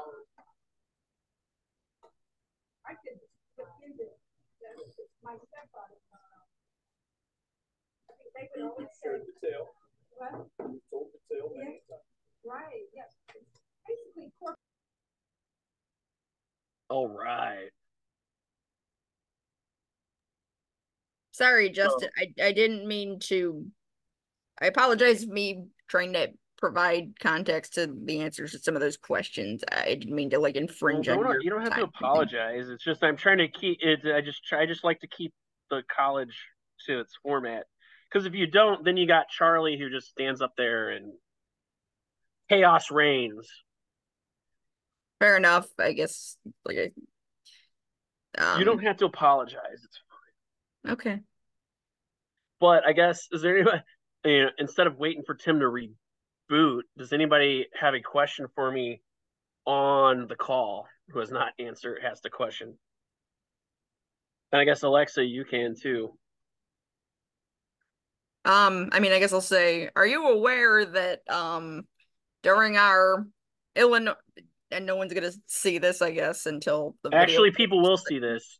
Yeah, well, until the video airs, but uh are you aware that um at the Illinois Libertarian presidential debate at our, that convention a couple weeks ago, um that when asked about um whether or not minors should be undergoing gender reassignment surgery, I believe all seven of the candidates present, um, out of nine total candidates for um in the primary for libertarian president. I are you aware that they all said that they do not think that minors should be getting gender reassignment surgery? So no, I mean I listened to so I was outside of the debate hall because I um was working the registration table. So I could only hear what I could hear when I was listening. So that particular question I was not able to hear. And um if I knew that that most of the candidates had answered that question, you know, All. if I if I knew you know if I knew that then I would have I would have mentioned that to uh Victor Okay, gotcha. Yeah. And uh, maybe he I don't know if he read uh maybe during your rebuttal or whatever you can mention that uh so Victor can can hear that I put in the chat. I don't know if anyone's gonna like look at it though. Also, Bernie Sanders has multiple homes. And uh, yeah, Charlie being Charlotte. That's fair. Uh, sorry, I that guy that guy really grinds my gears. Case you weren't aware. Well, I mean if he if he does it then then he's doing then he does it because because that's what he I mean he's trying to trigger you so I I uh, don't let him I don't uh try to let him bother me I don't know, moron. Someone being moronic triggers me, I guess. You gotta also remember that there's no personal attacks here, so and this I is still being recorded, so I told him to shut the fuck up respectfully. okay.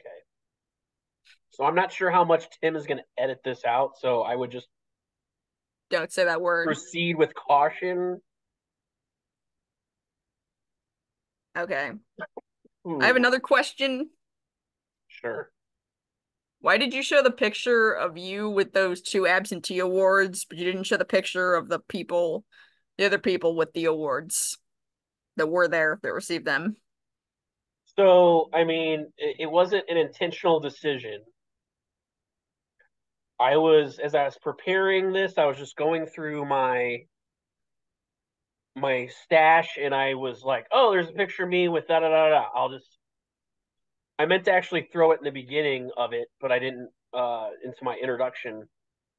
But I uh I didn't. So it was just a very hasty, like, "Oh, that's a cool picture." Download. I didn't put any thought into it. I didn't make a conscious decision to exclude the picture with everybody. So I'm just- don't I'm just don't feel slighted. If, no, I'm I'm giving you a hard time, dude. That's that's all it is. Do you have a, another question? Perhaps one that's uh, a more legit question. Um, who made the the the first like five memes um that you showed? Which memes were those? It was towards the beginning. Uh, a couple of them involved the Mandalorian, Oh yeah, you made them. and you yeah. I like how you called me out to do name dropping. I didn't really. I mean, I thought that was cool as heck that Pat Quinn called you and congratulated you. Well, I mean, I mean, it you know. cool, but I, I also I'm also fairly modest. I mean, it's just I, I guess try to be. it's fair. I guess that's why I asked you, and you know, like I said, I mean, you know, for people, you know, your pinkos like Charlie who are all like, "Oh, hey, you know, libertarians are these horrible, selfish people," and blah blah blah. It's like, well, actually, former Governor Pat Quinn supports um these libertarians being elected, so maybe you're, you know, wrong. Just saying. Pretty sure that dude supported Pat Quinn for governor. Then I just I have no idea. He probably did. I have no clue. I mean, there's no way he supported a Republican.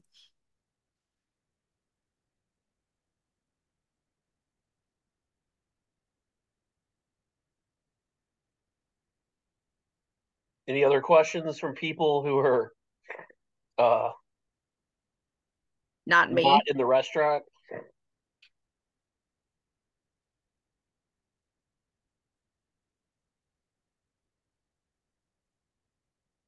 I think Carrie said he had to leave like at 5:30, so I don't even know if he's on still.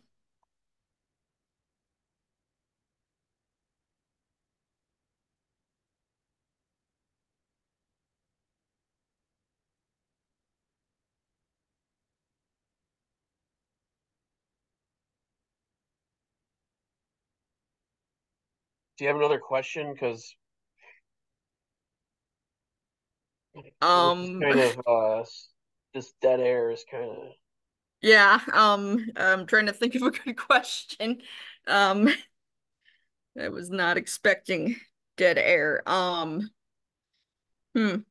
Okay. Uh, do you believe that um Chicago's extremely strict zoning laws um play a role in especially when it comes to building houses and building apartment complexes, especially like that that one dude who was that one uh alderman who was all like, "Oh, I've never approved of a building more than 3 stories high." Um do you think those contribute to homelessness, these strict zoning laws? certainly you it it it decreases your housing supply. if you're wanting to maximize if you're wanting to maximize uh you want to eliminate homelessness, yeah then to, uh, maximize your your have more homes. your way that you can make it easy to build homes i mean that's literally it's a there's it's it's it's a uh, and there's I, I should have brought it but i saw a chart the other day that was like showed correlations between the housing supply and rates of homelessness Mm-hmm. Yeah. Um, Okay, we're so back, we're back, Justin. We're sorry about the, when I interrupted. Of course, to Charlie, it's just oh, you you know, you voted against this bill, which means Alright. you don't care about homeless people. Alexa, I know we were, re- uh, I know we were offline. We're now back online. We're gonna resume protocols. Go ahead and get up and ask your question. Uh, Oh, I'm done with the questions. I we were just trying to kill the dead air time. well, that's okay. We're, we're, we're now back on air. So, all right. Okay, my, here's my question about poverty in Chicago and poverty in Africa and South America. And uh, the, the people in my neighborhood, many, many, many of them are from Venezuela and they're staying at the Motel Six on Sheridan Road. And, um, and I know they came because of the policies in Venezuela that our government has promoted and has disrupted their lives and their way of being. And so they think they think that they uh, will have a better life. They think they're going to have a better life here. So far, not, but you know, they're hoping. And so, you know, um, I'm not saying that this is an argument against capitalism per se, but the way the way capitalism works, and I I believe that have no data that um, Alexander Hamilton really tried to forestall this happening. Uh, okay, I've got a bunch of uh, things going on in my head that I have no proof for that are just imaginary, that are stories I made up. So I have to try to skip those. Hypotheses. They're not even that. They're not even that dignified. Um, but people, when they become uh, successful, as far as our culture goes, it doesn't. Uh, they're never satisfied. Their greed continues to increase, and as they get more money, they want more money. Now, I don't think that's everyone, but it's enough people that as things stand now, about half of the national money is held by about six people, or six corporations, or six people are in, in the hands of six, whereas the other half is for the rest of us. And um, I, uh, I'm I'm wondering what your answer is when capitalists do this. What what is your solution to the idea that people who acquire large amounts of capital and then oppress everybody else because they have now they have money and power, which is what they've always wanted. Um, is this a characteristic of human beings, or is it a characteristic of capitalism? And uh, you know, I'm a biologist, and I know that um, when when um, birds are nesting and foxes get into the nesting area, they will just they will go through and break the eggs in ten or twelve nests. You know, much more eggs than they can eat. They just go through and, and break the eggs, and it, it it's a characteristic of just you know having fun, and um, it bothers me that the human being seems to be greedy and take for themselves and they don't mind seeing the suffering of others. I uh, my biggest example of this right now. I'm sorry. Uh, do you have a question? You are you? Yeah, Or, okay, my question is what what my my question is, do you agree with me that this happens? And do you have something? What would you do about the fact that once a person begins to accumulate, they take the money of everybody else, and then other people are not able to even make a living? All right. Uh, so first off, um, let me let me. So you had started off by talking about migrants. What ha- what did the United States do in Venezuela that caused them to move here? Sanctions and a coup attempt, I think, is what you're referring to. Sanctions and the coup attempt. Is that what the migrants said? The migrants did not do that. Do oh, you not? Oh, you could just take Honduras. The, the, Zelaya. Well, was- I, am sorry. You, you said the reason. I'm I'm curious. I'm at so why so so we started a coup attempt and that's why the migrants came here. Is that what you're saying? you know something? I'm much more familiar with Honduras. Okay. All right. Th- all right. But but to answer your question, uh, do um do well. First off, I would say the migrants are here because their government is shit.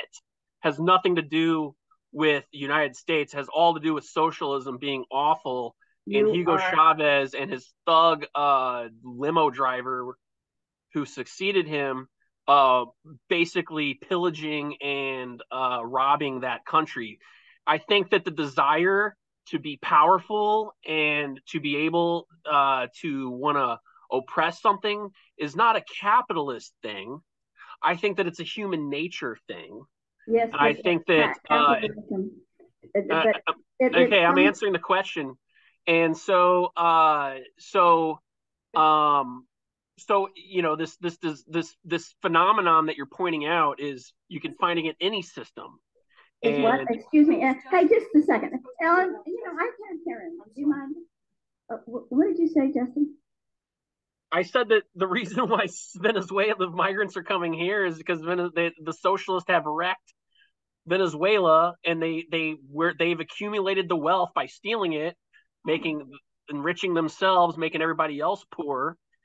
Um, you know, uh, making their currency worth garbage. People are leaving. Crime is horrible.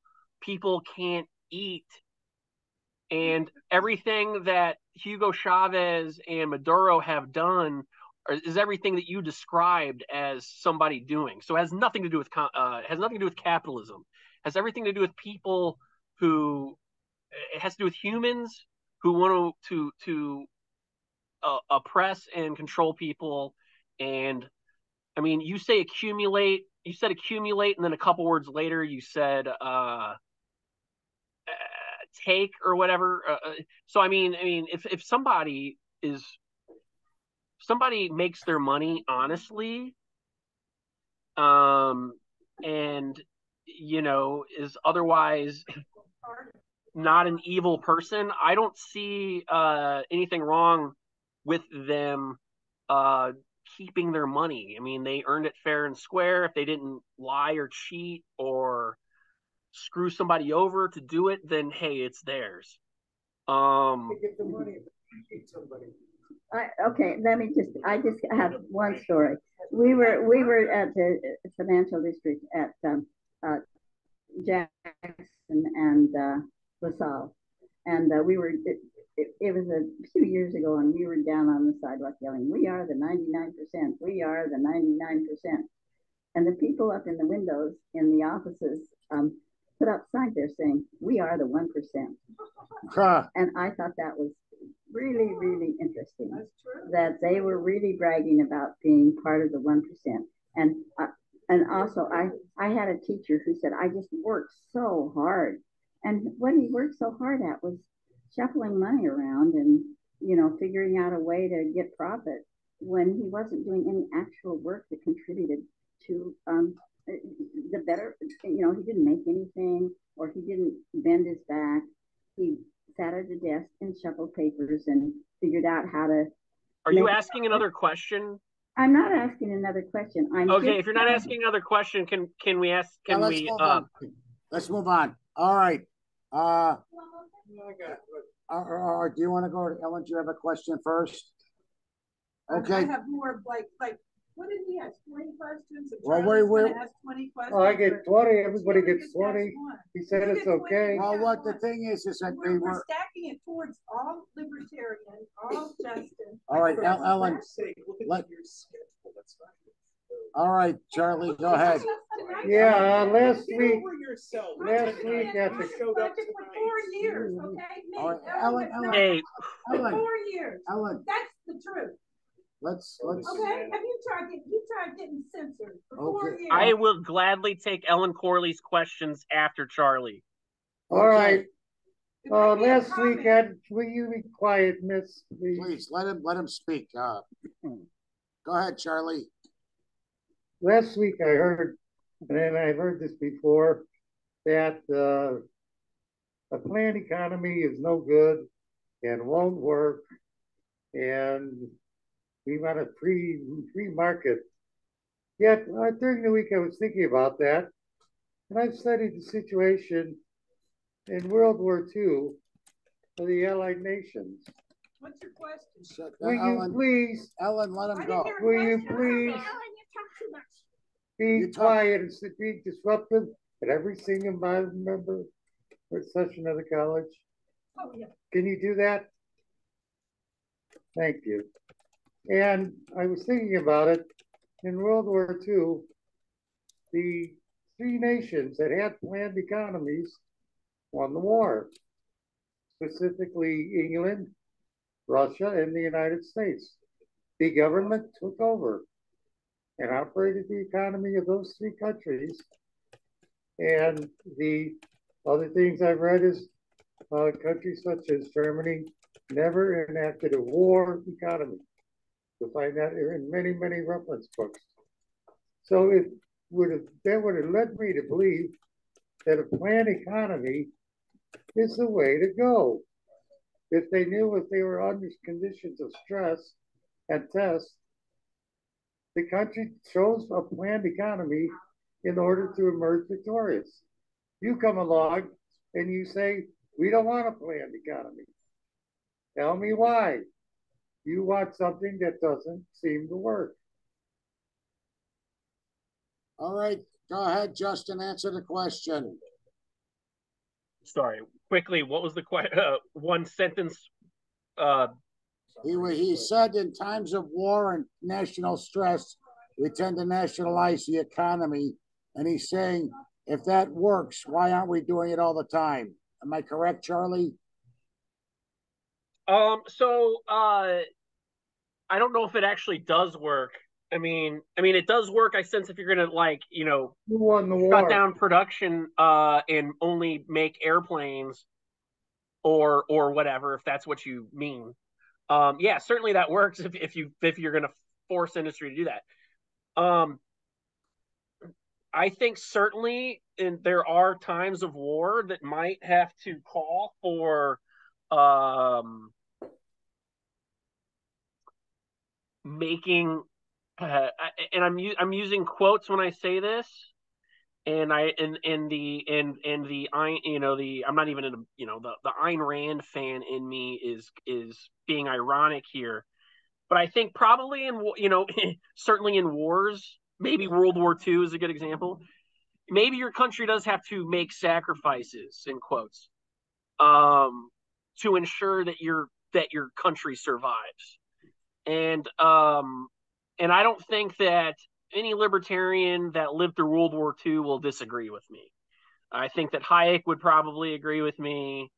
Uh, well, at least in, in principle, like the idea of of of like, eh, but Hayek also um, criticized the idea that, or he also one of his crit- criticisms of that sort of nationalization is that you don't get rid of the nationalization. Uh, you know, when war is over, you still you don't you don't it, it basically the government now owns all this industry it already has this this uh, sort of monopoly then you're just waiting for a despot to come down a little later let's say adolf hitler to take advantage of these structures that the state had already built up and then you have uh, the third reich so um Is that supposed to mean anything?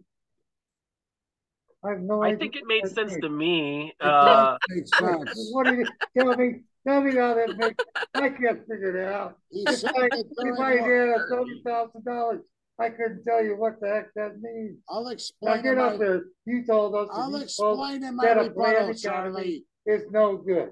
I'll And explain yet, in my when we, be rebuttal. quiet, please, yet the planned economy was the method that they used to win the war. So did the countries It that lost the war. No, they didn't. They had the Zaibatsu in Japan. Absolutely not. centrally directed. okay, so once you win the war, what's the purpose All right, then? gentlemen, Cartels in Germany. we're gonna have to cut this question off. Ellen, go on up and ask your question. Absolutely Ellen? not. You're, you're like, you're the last questioner, Ellen. Go ahead and ask. You're the last one. We're going to rebuttals after this.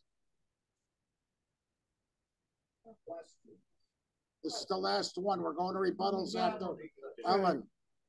Okay, uh, libertarians, um, suggested, I, I really, uh, I guess if I would question the libertarian philosophy, it, I think that what we have is corporate libertarianism. What they've done is rewrite the tax laws to, um, well, actually, I read today, you know, the putting in the Federal Reserve in 1913, you can look at a chart and show how the value of money was just really stable until they put in the Federal Reserve, and then inflation has gone like this ever since.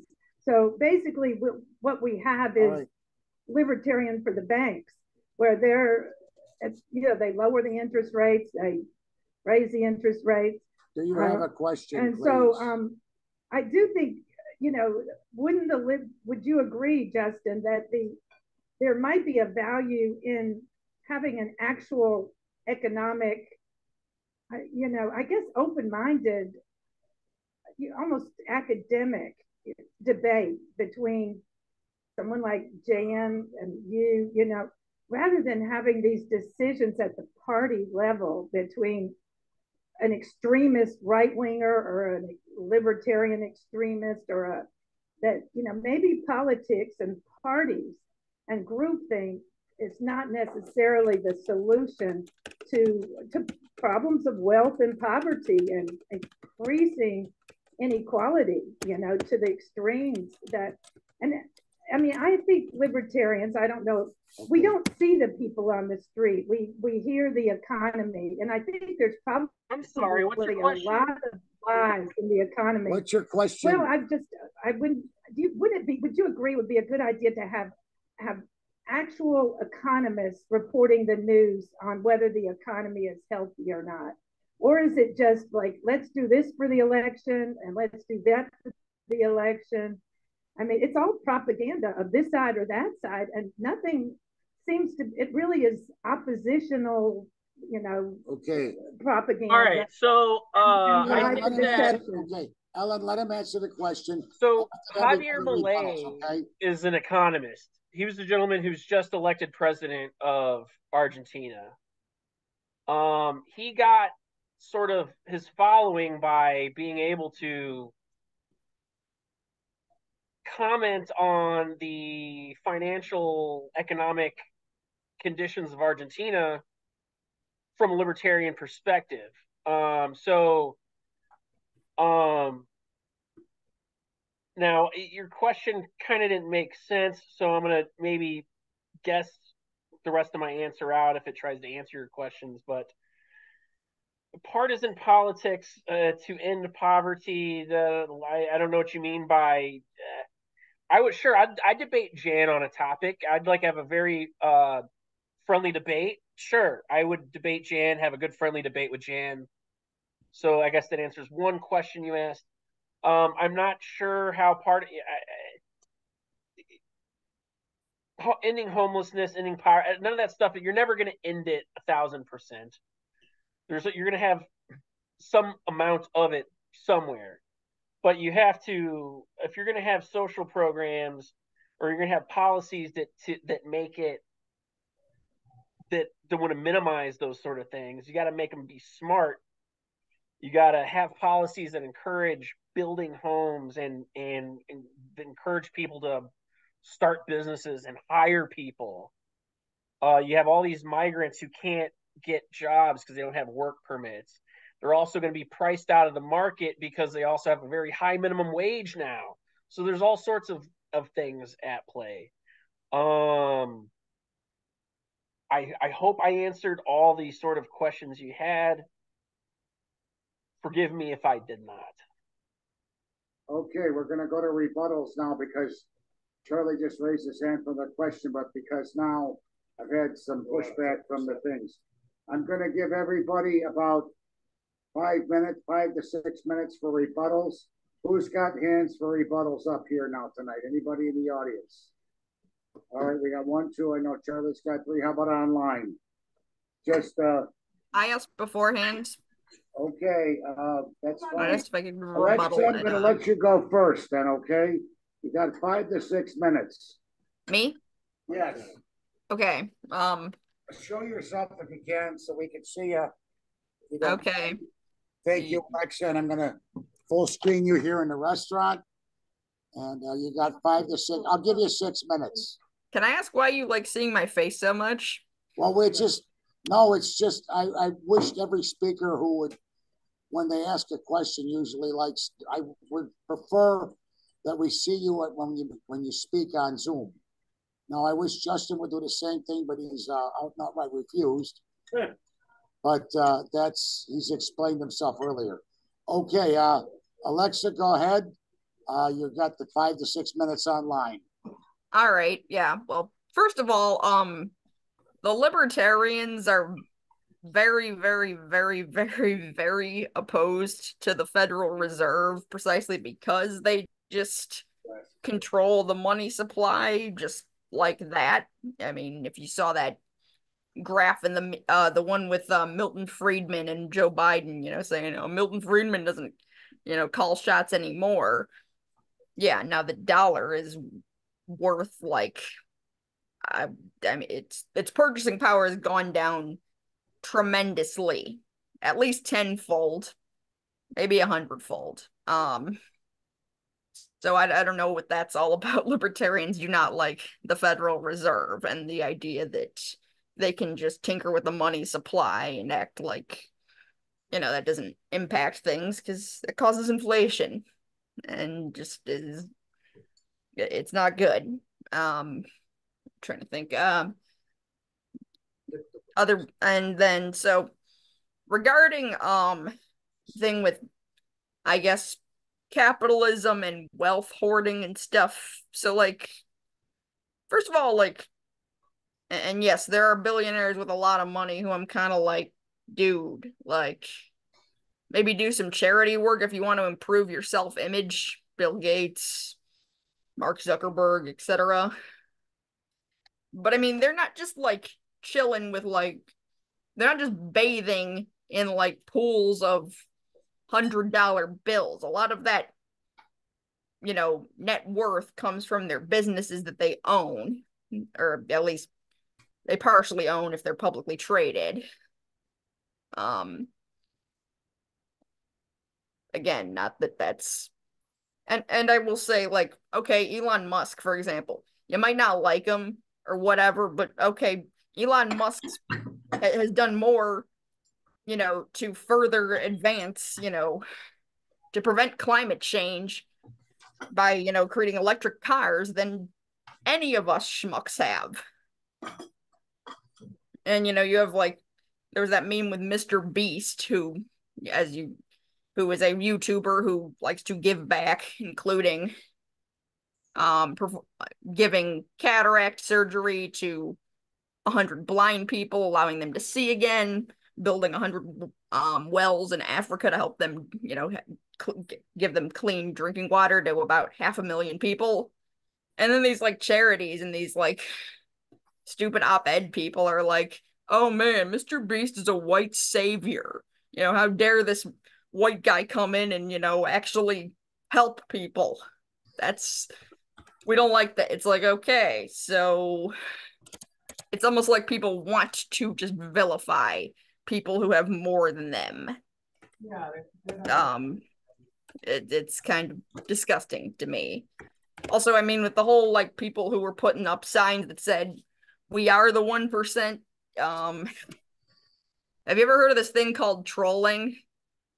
Um, I mean, it, I highly, I don't know, I highly doubt any of those.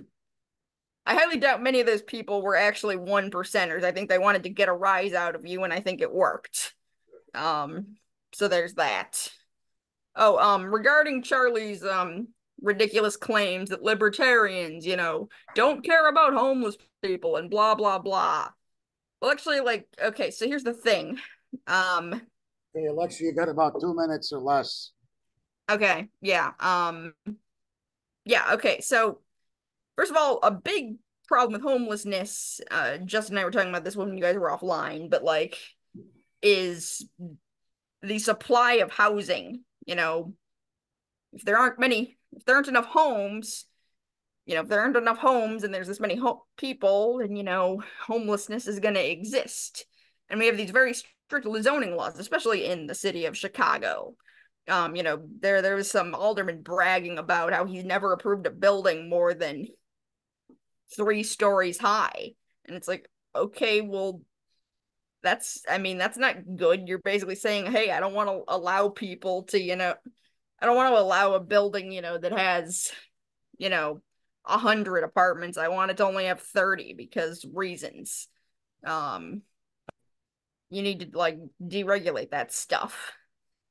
Um you also have the whole situation of like well here's the other thing like the government likes to withhold income from people they they take it out of their paychecks before they even you're not allowed like the government takes your money that they claim you owe in taxes before you even get that money and can spend it.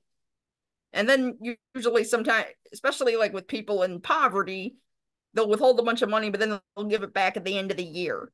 And it's like well those people who are in poverty could have used that money um you know at the time before it you know became less valuable and stuff. That is criminal stuff to me. It's disgusting and the whole idea that you know Yeah, uh, why are people supposedly you know there was a actually there was a quote by economist walter e. Williams um that said i believe that justin showed it was talking about and if that wasn't it, it he had a quote where he basically said well you know socialism and communism people profit off of oppressing man whereas with capitalism you profit by you know pleasing them. You say hey here is this product or service and they say hey i am willing to buy that for this price. So you are helping them. The last thing i'm going to say is um a quote from thomas sowell. Um the first rule of politics um or well oh sorry i screwed that up. Anyway the first rule of economics is scarcity there will never be enough of anything to satisfy everyone. The first rule of politics is to disregard the first rule of economics. Not everyone is going to get everything they want in life everything they think whether they think they're entitled to it or not. And also bernie sanders you know socialist you know he owns four houses so i feel like he could let some homeless people crashing those you know what i'm saying so Okay, just some of my thoughts all right. We'd like to say thank you, Alexa. Who would like to go next? Okay, hang on. I could go. Who would like to go next on the rebuttals? I'll go. Five minutes only, Ellen. All right, Right, I'll give you time, you six minutes. Okay, so go ahead, Ellen. all right.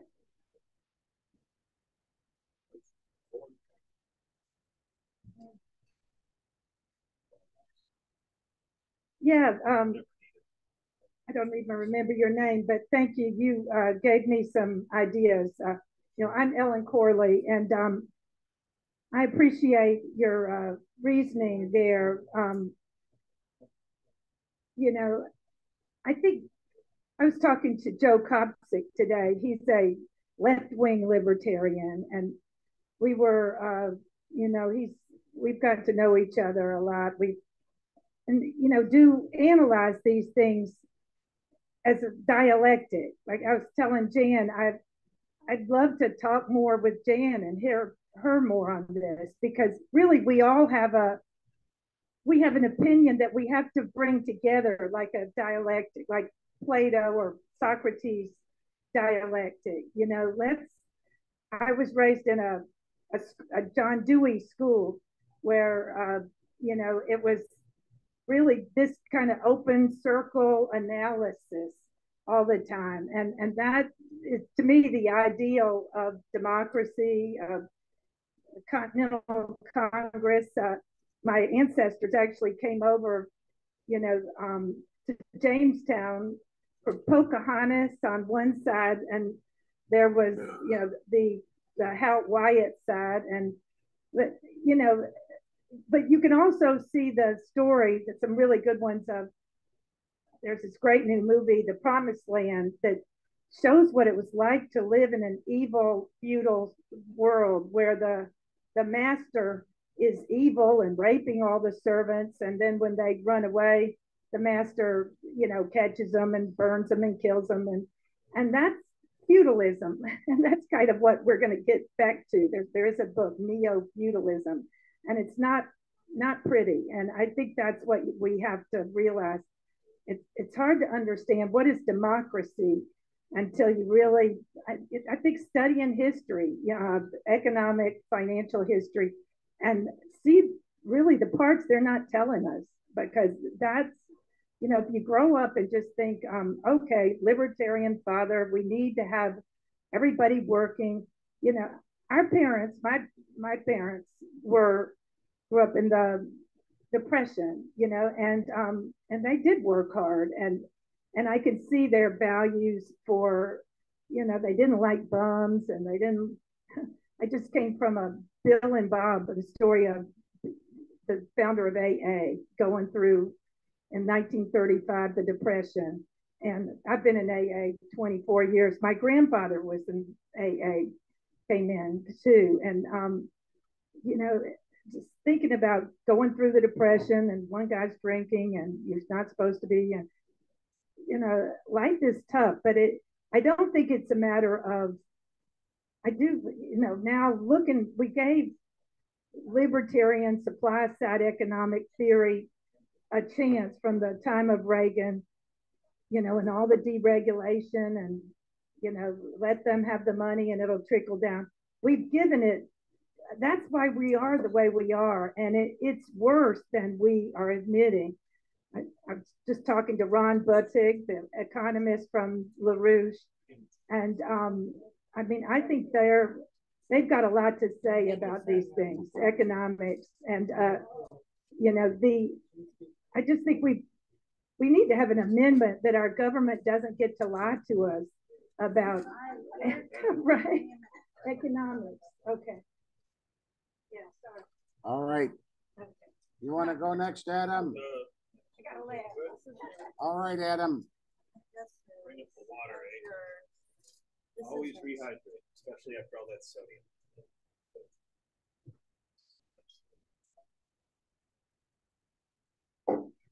Actually, I should put the timer on Tim so I can see it. Uh, don't don't worry. I you you're pretty good. It's a loosey goosey night tonight, isn't yeah. it?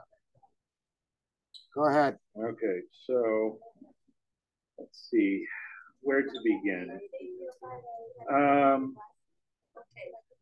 we had a lot of problems. Uh, there, I know one of the statements we actually put out with the Libertarian Party in Chicago cited both U.S. foreign policy and bad economic policy from the government in Caracas in Venezuela as among the things that did not help with the migrant crisis. We also cited, uh, you know, conservative U.S. politicians as well as uh, progressive U.S. politicians using the issue as a political football for their own advantage. Um, and I think a little out of practice since I did not stay with this like I did as an undergraduate, but once upon a time studied a great deal of Latin American history and politics. One of the things, Venezuela, even before Chavismo, had, since the overthrow of the um, dictator uh, Marcos Jimenez Perez or Perez Jimenez, I am getting out of practice. there had been an agreement to share the oil revenue going back to the early 1960s for public purposes. The three main parties, two larger ones and a smaller left-wing, you know, piece of this coalition, agreed in the Punto Fijo Pact in the 1960s to share the oil revenue for public expenditure in Venezuela. And the problem is, like a lot of petroleum exporting states, they found that whenever the oil price might go down, that they'd been spending like mad and they couldn't keep up with it. And this is what broke the main center left party, Acción Democrática, uh, or AD, you know, supporters of the ADECOS, um, the main sort of Christian democratic, centrist, and center right coalition, uh, whose acronym was COPEI, COPEI, and they were the COPEIstas. And it was originally the 1960s Communist Party, and then later there was a breakaway left wing party called uh, MAS, Movimiento a Socialismo, the movement towards socialism.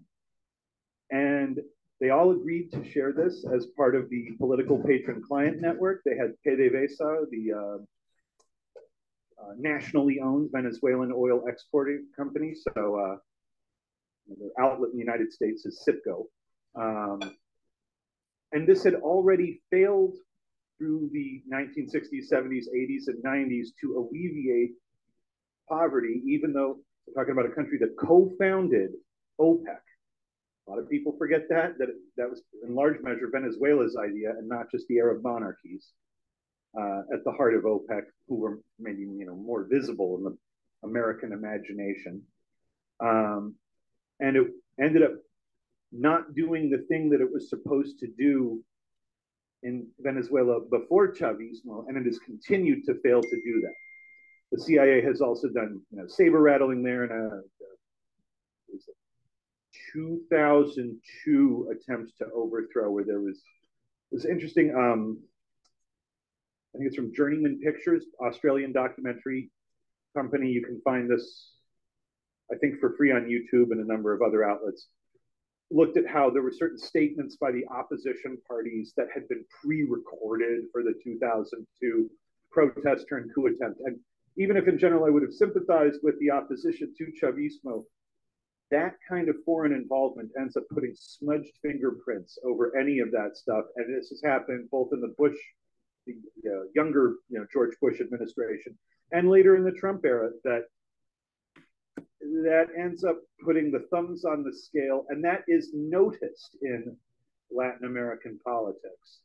Um, every now and then, people should uh, remember this the same way that I always like to point out the 2009 coup in Honduras that was under Obama. I don't remember a lot of my Obamist friends going out, and I use the word Obamist advisedly, going out into the streets to defy him. Shit, when they came up with Occupy Wall Street, they couldn't even have the spine to suggest someone run against Obama in a presidential primary, which would have been the way that this is indicated. One would assume inside the Democratic Party that they had a problem with him. But that's their problem, not mine. Um, in much the same way that our former mayor, who was also former White House chief of staff under Obama and assistant or deputy chief of staff under Bill Clinton, Mayor Emanuel never took orders from a small party like the Libertarian Party. And it is a bit rich to suggest that that was what was in charge, in the same way that I think it vulgarizes the term to say that, well, in a Reagan era economy where federal spending was probably still about 40% of GDP, that that was a libertarian uh, model of governance. Anyway, I used up about five minutes there. Tim, should I uh, wrap it up or throw one quote out there? Throw one more quote out I'm going to throw a quote out there. Actually, I'm going to give two. Charlie, Mixed Economy for Nazi Germany, consult historian Richard Overy, O V E R Y, in case you doubt me. The Zaibatsu, Z A I B A T S U, was something going back to the Meiji Restoration era in Japan, which was a connivance between the new Japanese militaristic governments of the late 19th and early 20th century with what would become the top industrial firms. Mitsubishi had its origins, for example, as one of those Zaibatsu state private sector uh, partnerships. And the term il Stato totalitario comes from Mussolini's Italy, where people said maybe the only good thing about it was that it was so corrupt and inefficient that it couldn't be as severe as the other totalitarian countries. And for, Find the correct tab as I have the smartphone with the rapidly multiplying set of tabs. Uh, okay, here's a quote from a less obvious choice, uh, science fiction author Frank Herbert. This is from Heretics of Dune. Bureaucracy destroys initiative. There is little that bureaucrats hate more than innovation, especially innovation that produces better results than the old routines. Improvements always make those at the top of the heap look inept. Who enjoys appearing inept? Anyway, thank you very much for the live leaving tonight. Okay, Charlie, you're next. Yeah, you have to destroy us. It's not a competition, Oh, great. Charlie. Oh, it's uh, somewhat, it's somewhat is. You could do. Cooperation. Well, I like, I Every, think every Justin, competition has rules. Justin, for your, uh, nice presentation there. And I'll be quick, um, three things, um. Number one, zoning laws are given as the problem or the cause of homelessness in Chicago, which I didn't know. Uh, only that separates residential from industrial type activities. But somehow I'm told tonight that that is the cause. Zoning laws are the cause of homelessness in the United States, in Chicago. Um, I gotta have my some doubts about that. Anyhow, number two, I also learned later on that because uh, if somebody says, "Why am I homeless? Why am I poor?" And I use the exact quote. He said, "Well, you can't expect to get everything you want in life." I guess this is the libertarian response to poor people is you can't expect to get everything you want in life. That's what I heard tonight. This is what you tell them. Uh, that's the why why you are poor. Now the other amazing thing is, I also learned tonight. I heard a comment there something like, "Why am I poor?" And it could be that you're not paid enough money. And the Libertarian Party says we don't want a minimum minimum wage. We want to pay people less. Now, how do you get rid of homelessness and eliminate poverty unless you pay people more money? Company towns. It's called a living wage. And you're not going to make Chicago a company town. Um, but I've heard, and I don't even now, I'm misguided. Apparently, home because homelessness is something like city regulations. um, basically, a, a theory notion that you are entitled to something in life, like food and clothing, shelter. you can't expect everything. You want food, clothing, and shelter. Who do you think you are? we don't want to give people more money. We want to let people give gives them an opportunity to give them less money and get them to work for the same thing, to do the same amount of work for less money. And I'm supposed to embrace this. Uh, no, can I think about these ideas and, until we come again, guys? Thank you very much. All right, I'm gonna go next. I got them a solid golf class.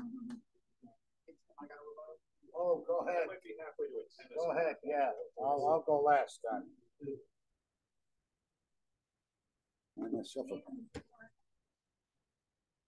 You have a couple of rebuttals to throw out there on certain things. There was one meme in there that had like a Putin and and Biden kind of like looking at each other, and there were arrows with different messages. I can't remember exactly what they were, but like Putin's was something like you know hurting people or something like that, which I think is a reference to the Russia Ukraine thing, and you know the the dominant narrative, um, which I believe is is 100% false, is Putin and Russia are the big bad bully on the block. Ukraine is the innocent little underdog and they're being bullied by Russia. Russia and Putin are the aggressor in the conflict, and I think it ignores everything that, for example, John Professor John Mearsheimer has said years in advance about the uh, Russia-Ukraine situation, the NATO situation, how that fits into that, the uh, the Maidan coup in 2014, facilitated by our own CIA and all that kind of stuff. Um, it, it's a little bit too boomer to put the Russians as the bad guys and the Ukrainians as the good guys and, and stuff like that. So I don't I don't buy into the Putin the Russian man bad Putin narrative on that. Um, as far as like uh, Jacob Hornberger, Hornberger, Hornberger, if I mispronounced that, you know, forgive me. Um, anybody on the, I, am mostly libertarian. Anybody on the libertarian side of, you know, politics who supports open borders is immediately disqualified. Can't do that. It's it's insanity at this point. What I think libertarians lack, perhaps even as deep as libertarian theory and philosophy is, an order of operations to get from point A to point B.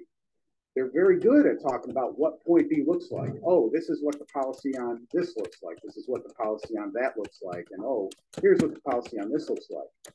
But given that we exist in particular circumstances now, I'm not aware that there's, you know, like libertarian theory that says, okay, you should do this first, then you should do this second, then you should do this third. A guy like Hornberger, I suspect, is somebody who says, despite the fact that there is a crippling welfare state and benefits, and you know, we have to do emergency room care that jacks up everybody's healthcare costs, and you have to, you know, pay for all the public schooling for these people. We still need to open the borders, and we still need to prevent Texas from keeping illegal aliens out of Texas and all that kind of stuff. Like, you can't do it. It's ridiculous. It's a loser issue for libertarians if they want to be anyway per, um, pretending to be viable. Um, a little bit of a criticism on the Ron Paul meme with the Black Lives Matter movement. You know, when it was originally presented, it sounded like, oh, Ron Paul supported the actual Black Lives Matter movement. When I asked the follow up, when I asked the question about that, like, oh, what did he say? I did get the helpful clarification that Ron Paul, it was sort of tongue in cheek, and he was trying to like co opt it in a way to say, hey, abortion is bad because look at how many black babies are being aborted. Black lives matter, meaning black babies' lives matter. Let's not abort black babies. That's a little different from saying, oh, he supported the Black Lives Matter movement in and of itself. I think that was a little bit, you know, that could have been done better. Um, the Jorgensen meme about like, you know, if you only support the Second Amendment for people who look like you, I'm not even sure what that's in reference to. Um, if, for example, you think that the Second Amendment applies to American citizens and does not apply to illegal aliens, I don't know. I think that's at least up for debate. But if she's going to put it in racial terms, like you're kind of a bigot if you think people who don't look like you uh, don't deserve Second Amendment rights. I don't know. I suspect that's probably a straw man of some kind of argument somewhere. Um, a criticism of Milei that I have, he looks like he's a pretty cool libertarian guy, but I did I do remember hearing or reading somewhere that you know he as a good thing, like oh yeah, he wanted to dissolve or he did dissolve the Argentinian central bank, and that sounds good at first until you learn like except that he pegged the Argentinian currency to the American dollar. So what did he really do? He just traded one central bank closer to home to a larger central bank many thousands of miles away. I don't know that that was actually a pure libertarian choice there. Uh, Donald Trump oversaw the FBI on January 6th. If you believe Donald Trump had good control over the deep state, and the FBI is a part of the deep state, then you're delusional. The, the, the deep state, the FBI, the intelligence agencies, they were looking to undermine him left and right. So to pretend like, oh, look at Donald Trump was in charge of the FBI, like, no, not not not exactly. Um, I, I would argue also that, and then there was one other thing about like uh, it was a states' rights meme, and and it was like the one button and the other button with the superhero guy or whatever that was, where it's like you know, um, I'd have to look into the the actual substance of the knocking Trump off the ballot, but you can't possibly believe that um, states starting to knock people off the federal, the the the, the national ballot is it can any way lead to good places. That's going to lead to civil war if you let that go out of control. Um, the the definitions of insurrection, I'm just going to presume that that means that uh, you believe that Donald Trump incited an insurrection. He commanded his loyal minions to storm the Capitol and overthrow the government. If you really believe that, you, you need to listen to Glenn Greenwald and System Update. He's actually a left wing guy, but you know he understands it wasn't an insurrection. You can't possibly think it was a serious insurrection, an organized attempt to overthrow the government. That's just absurd. And then the final thing, and then the final thing I'll mention as sort of like a housekeeping thing is um, it really would be good for during the question and answer period for it just to be questions instead of like quasi rebuttal and speeches. You know, I we, we did that tonight because of the it was just a little more loose. I, I get you. I, I would have tightened it down had we had a lot more people. Gotcha. But I understand. One full at a time. The resurrection. That's supposed to be next week, Charlie. All right, let's uh, sir. All right. Yes, Joe. Charlie, get up there and rebut. It was a riot that I don't think was as serious. All right, Charlie. It was a riot that was not as it was not as here, let me let me finish let me finish the sentence. Charlie, let me finish the sentence. The the January 6th was a riot. One full at a time. January 6th was a riot that was not as bad as the BLM riots that burned down police stations and courthouses. That's correct, Charlie. Correct. All right, yes.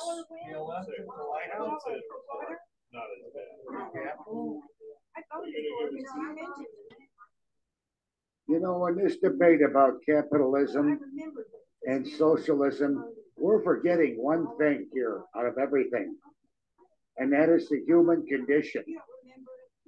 And for me, that human condition is best defined in, in the scripture by uh, what Jesus said about us that we're all sinners, that we all have proclivity to corruption, we all have proclivity to power, we all have proclivity to do mean things to each other. And it's our choice whether we do those things or not. Personally, God gave us the uh, freedom to accept or reject Him. And second, our governments need to also exercise that right. But that doesn't mean we can't have government. Personally, if any of you guys looked at the Federalist Papers, there was quite an extensive argument as to how much government we should have and how much we shouldn't have. And that's why they passed the Constitution of the United States along with the Bill of Rights. Now, for those of you who are pure capitalists, you got to remember one thing about Adam Smith, who also wrote a book about the same time we had a revolution in 1776 called The Wealth of Nations. He spoke about something called the commons, and he was also for some form of taxation to support that commons. Now, whether you want that commons to be all inclusive with health care and government benefits and government provided housing. We got that. And it seems to be working okay in Sweden right now. But they also have a tax rate of about 50%. If you want a low tax rate, the first thing you want to do is get rid of the corruption in the capitalist system and get rid of all the special preferences that corporations are now getting in in, in the resistance to government regulations. A lot of times your various libertarian people who back all this uh, libertarian stuff with no regulation are the very same people, like the Koch brothers, who want to skirt the mining regulations, who want to skirt the EPA, who also don't want to be taxed too much. Why? Because certain businessmen who have a large monopoly are greedy. However, that's not every one of them. That is not every one of them. There were some people in the past who've been millionaires who have given their wealth to previous causes. And there have been corporations that have cheated and lied to people, as well as people who have cheated and lied to people. And you're going to have that whether it be under communism or socialism or even capitalism. The thing is, which one works the best to keep the least out. And I think that's capitalism because it is a system that's based on trust. You pay a price, you get a service. If you don't like that service, that guy goes out of business. If your government to protect property and protect civil rights and protect other things, they do have a function. Yes, we need a police department. Yes, we need a fire department. Yes, we need public schools. Yes, we need roads. Yes, we need other things. We have a much more complex society today that requires a larger government. Now, if taxation is theft, well, I still look at it as taxation as rent. And that means if you're going to live here, you got to pay your way to get here. And if you're using the uh, taxable benefits much more, like say at Jeff Bezos at Amazon, you should pay your way just like the rest of us citizens do. I am not saying don't tax the rich. Now, as far as homelessness is concerned, there is a lot to be said about zoning laws. There is, Charlie, because I've looked up the old zoning code in Algonquin. They have most of the districts out in the burbs designated as R1 or single family homes. And there's been a lot of people I know who wanted to, you know, build, take a garage in the back and put it into a garage apartment or build a second or a third story so they could bring and move people in. This is exactly what Chicago was doing in the early teens and 20s. Besides, Chicago has faced this immigration problem before. It was called the 1850s, the influx of the uh, meat packing and all the jobs there. It was called the Great Migration when all the blacks came up here for a long time. And for some reason, we did manage to accommodate them. It may have taken a few years, but we did manage to accommodate. The reason people want to come to this country is because it's safe, it's stable, and it's got freedom. And frankly, they do have to go through a vetting process, although right now there has not been comprehensive immigration reform. If you remember under Ronald Reagan, he did bring all, he did have immigration reform. He let those people who were in the United States at the time of the passage of the bill become United States citizens. He also put some controls on the border. We haven't seen this since the 1985, and we haven't seen anything like it. It seems like both political parties just want to push it around as a problem so that they can get their own political advantage to each other. And the thing is, it's like what I'm simply saying is this before we throw the baby out with the bathwater and say all government is evil, just remember it's government of the people and by the people shall not perish from this earth. But people are sinners in need of a savior. That's why I'm a Christian, and that's why I'm also heading to church tomorrow. Thanks a lot. Have a good night. Uh, Justin, you're going to get closed now, and we'll close out the college. All right. so I'm going to do a quick uh, few more memes here. So first off, uh, Adam, I uh, thank you for bringing up the LPC statement. As I'm not as involved as I used to be in the Chicago chapter, I did, I was I forgot all about that. So thank you for bringing that up. Uh, the Black Lives Matter Ron Paul meme. Uh, I will I will admittingly admittingly admittingly admit that I shared it quasi ironically. Um, I don't think that. Uh, I mean, he said he said the words, "I support the Black Lives Matter movement," so I'll take his word for it. Um, but uh, I he, I'll just I'll just leave it at that. Uh, Trump, uh, all those definitions of insurrection, I will certainly apply to the riots in 2020 uh, after George Floyd protests. Um, as far as Trump inciting a riot, I certainly he did. Um, he he he spent months uh, saying the election was stolen when he they offered no substantial proof. Um, he there's also uh, maybe maybe he didn't have direct collaboration, but certain uh, three percenters, Proud Boys, Oath Keepers, and other organizations were uh, trying to do something. Um, and I don't think we ever addressed the road to serfdom. Um, I just want to clarify that uh, the principle that I think that the libertarians alive during World War II was was that they definitely wanted to defeat Nazism and definitely do what they could to beat them. Uh, certainly, I don't think Hayek would want to prescribe the road to serfdom per, in perpetuity after World War II. But I hope that uh, you guys got what I was saying with that. So here is uh, a couple more. Whoops.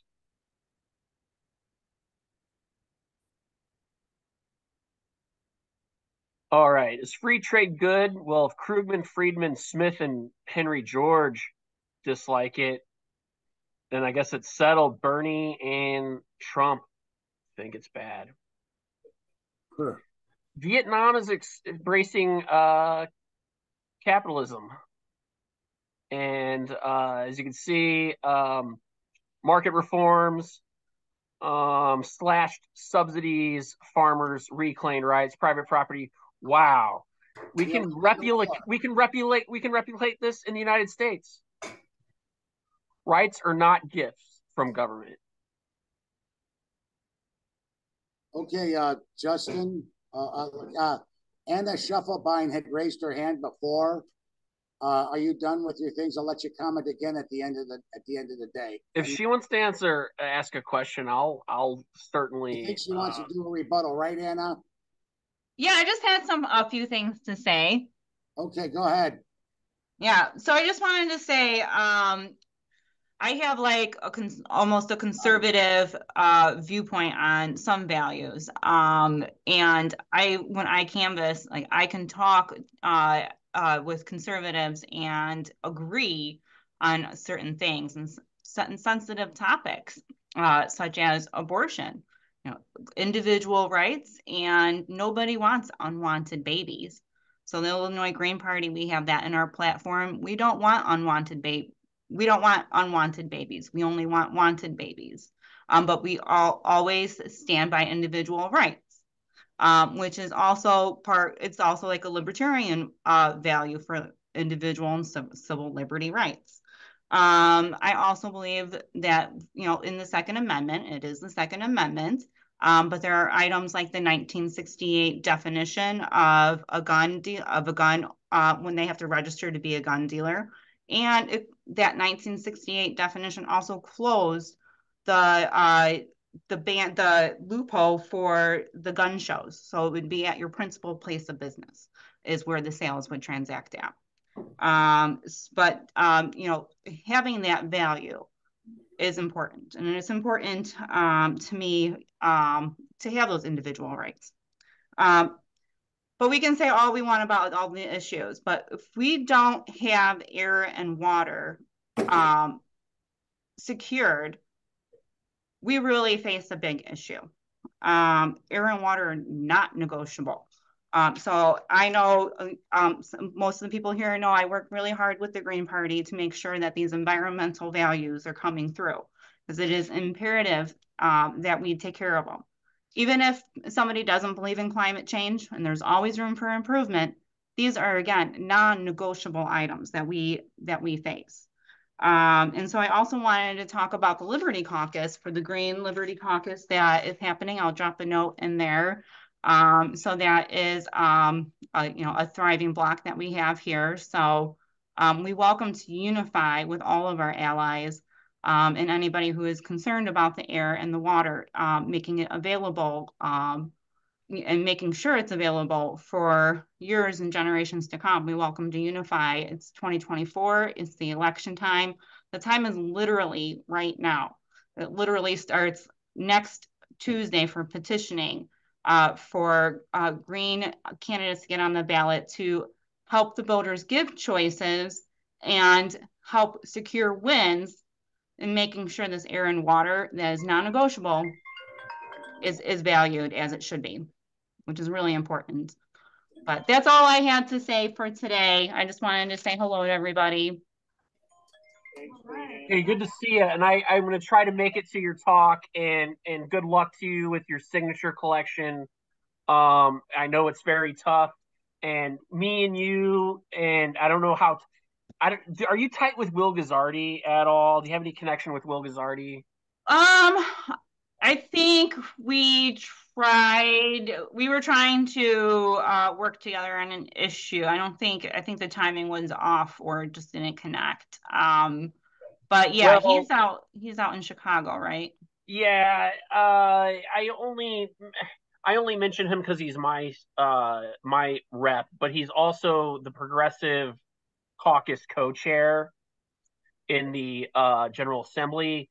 I've been putting pressure on him for years to, hey man, you're a Democrat and you're a progressive.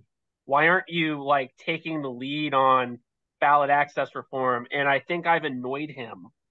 So I think if I can find perhaps somebody that's uh more that, that it, maybe if somebody more sympathetic to his own politics might approach him, somebody who's much more attractive than myself, maybe we can make headway with the progressives and hold the Democrats to actually making democracy uh you know a thing in Illinois. It's like it's like the waffle it's like Waffle House de-emphasizing waffles.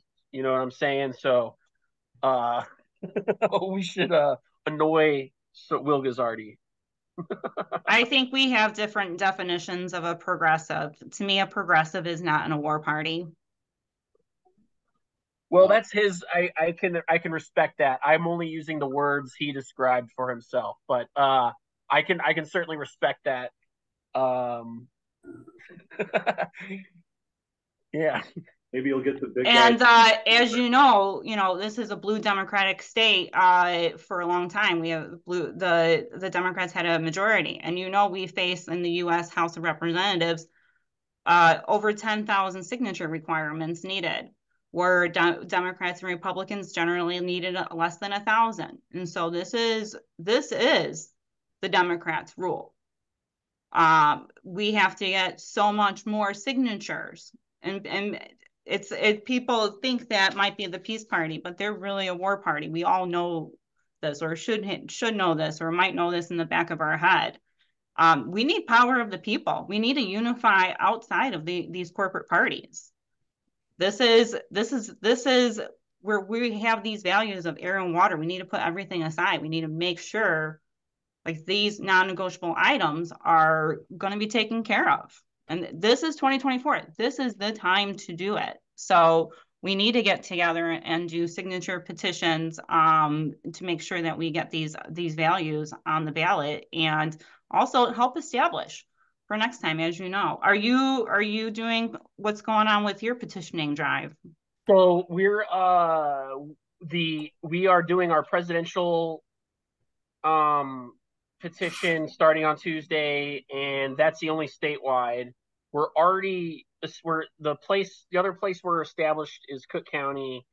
We've got our state's attorney candidate and clerk of the circuit court candidate going to be on the uh, general ba- uh, ballot in Cook County, and uh, me and three other of my comrades were elected as ward committee persons in the city of Chicago. So um, that's what that's that's the most recent news with us.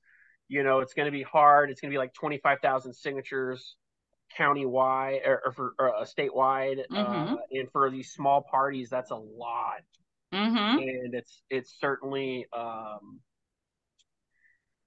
it, it, it eats up a lot of resources um you know these parties not only have lower you know have smaller uh m- not only manpower but financial resources so it's very very hard and uh it's unfair so Okay. You want to wrap us up? All right. Um, Brother Tucker, uh, did you have any final comments? Because I know they're getting Nancy to close the restaurant here. uh no i i lost track of time and i apologize uh but thanks for coming out guys and uh Well, we created a rift in the space-time continuum tonight with your, you know, dank memes. Yeah, well, thanks for coming, and uh, hopefully we'll talk soon. All right, and I will uh, just say to everyone, also one thing from the Caracas or Venezuelan example and the Argentine example, inflation in the hundreds or thousands of percent to help is the thing that can really undermine your economy, not just, oh, 7.5% inflation. And on that happy note, uh, I guess we will adjourn the meeting. Thank you, Justin. Thank you, my fellow College of Complexes students and faculty members, and happy Purim until next time.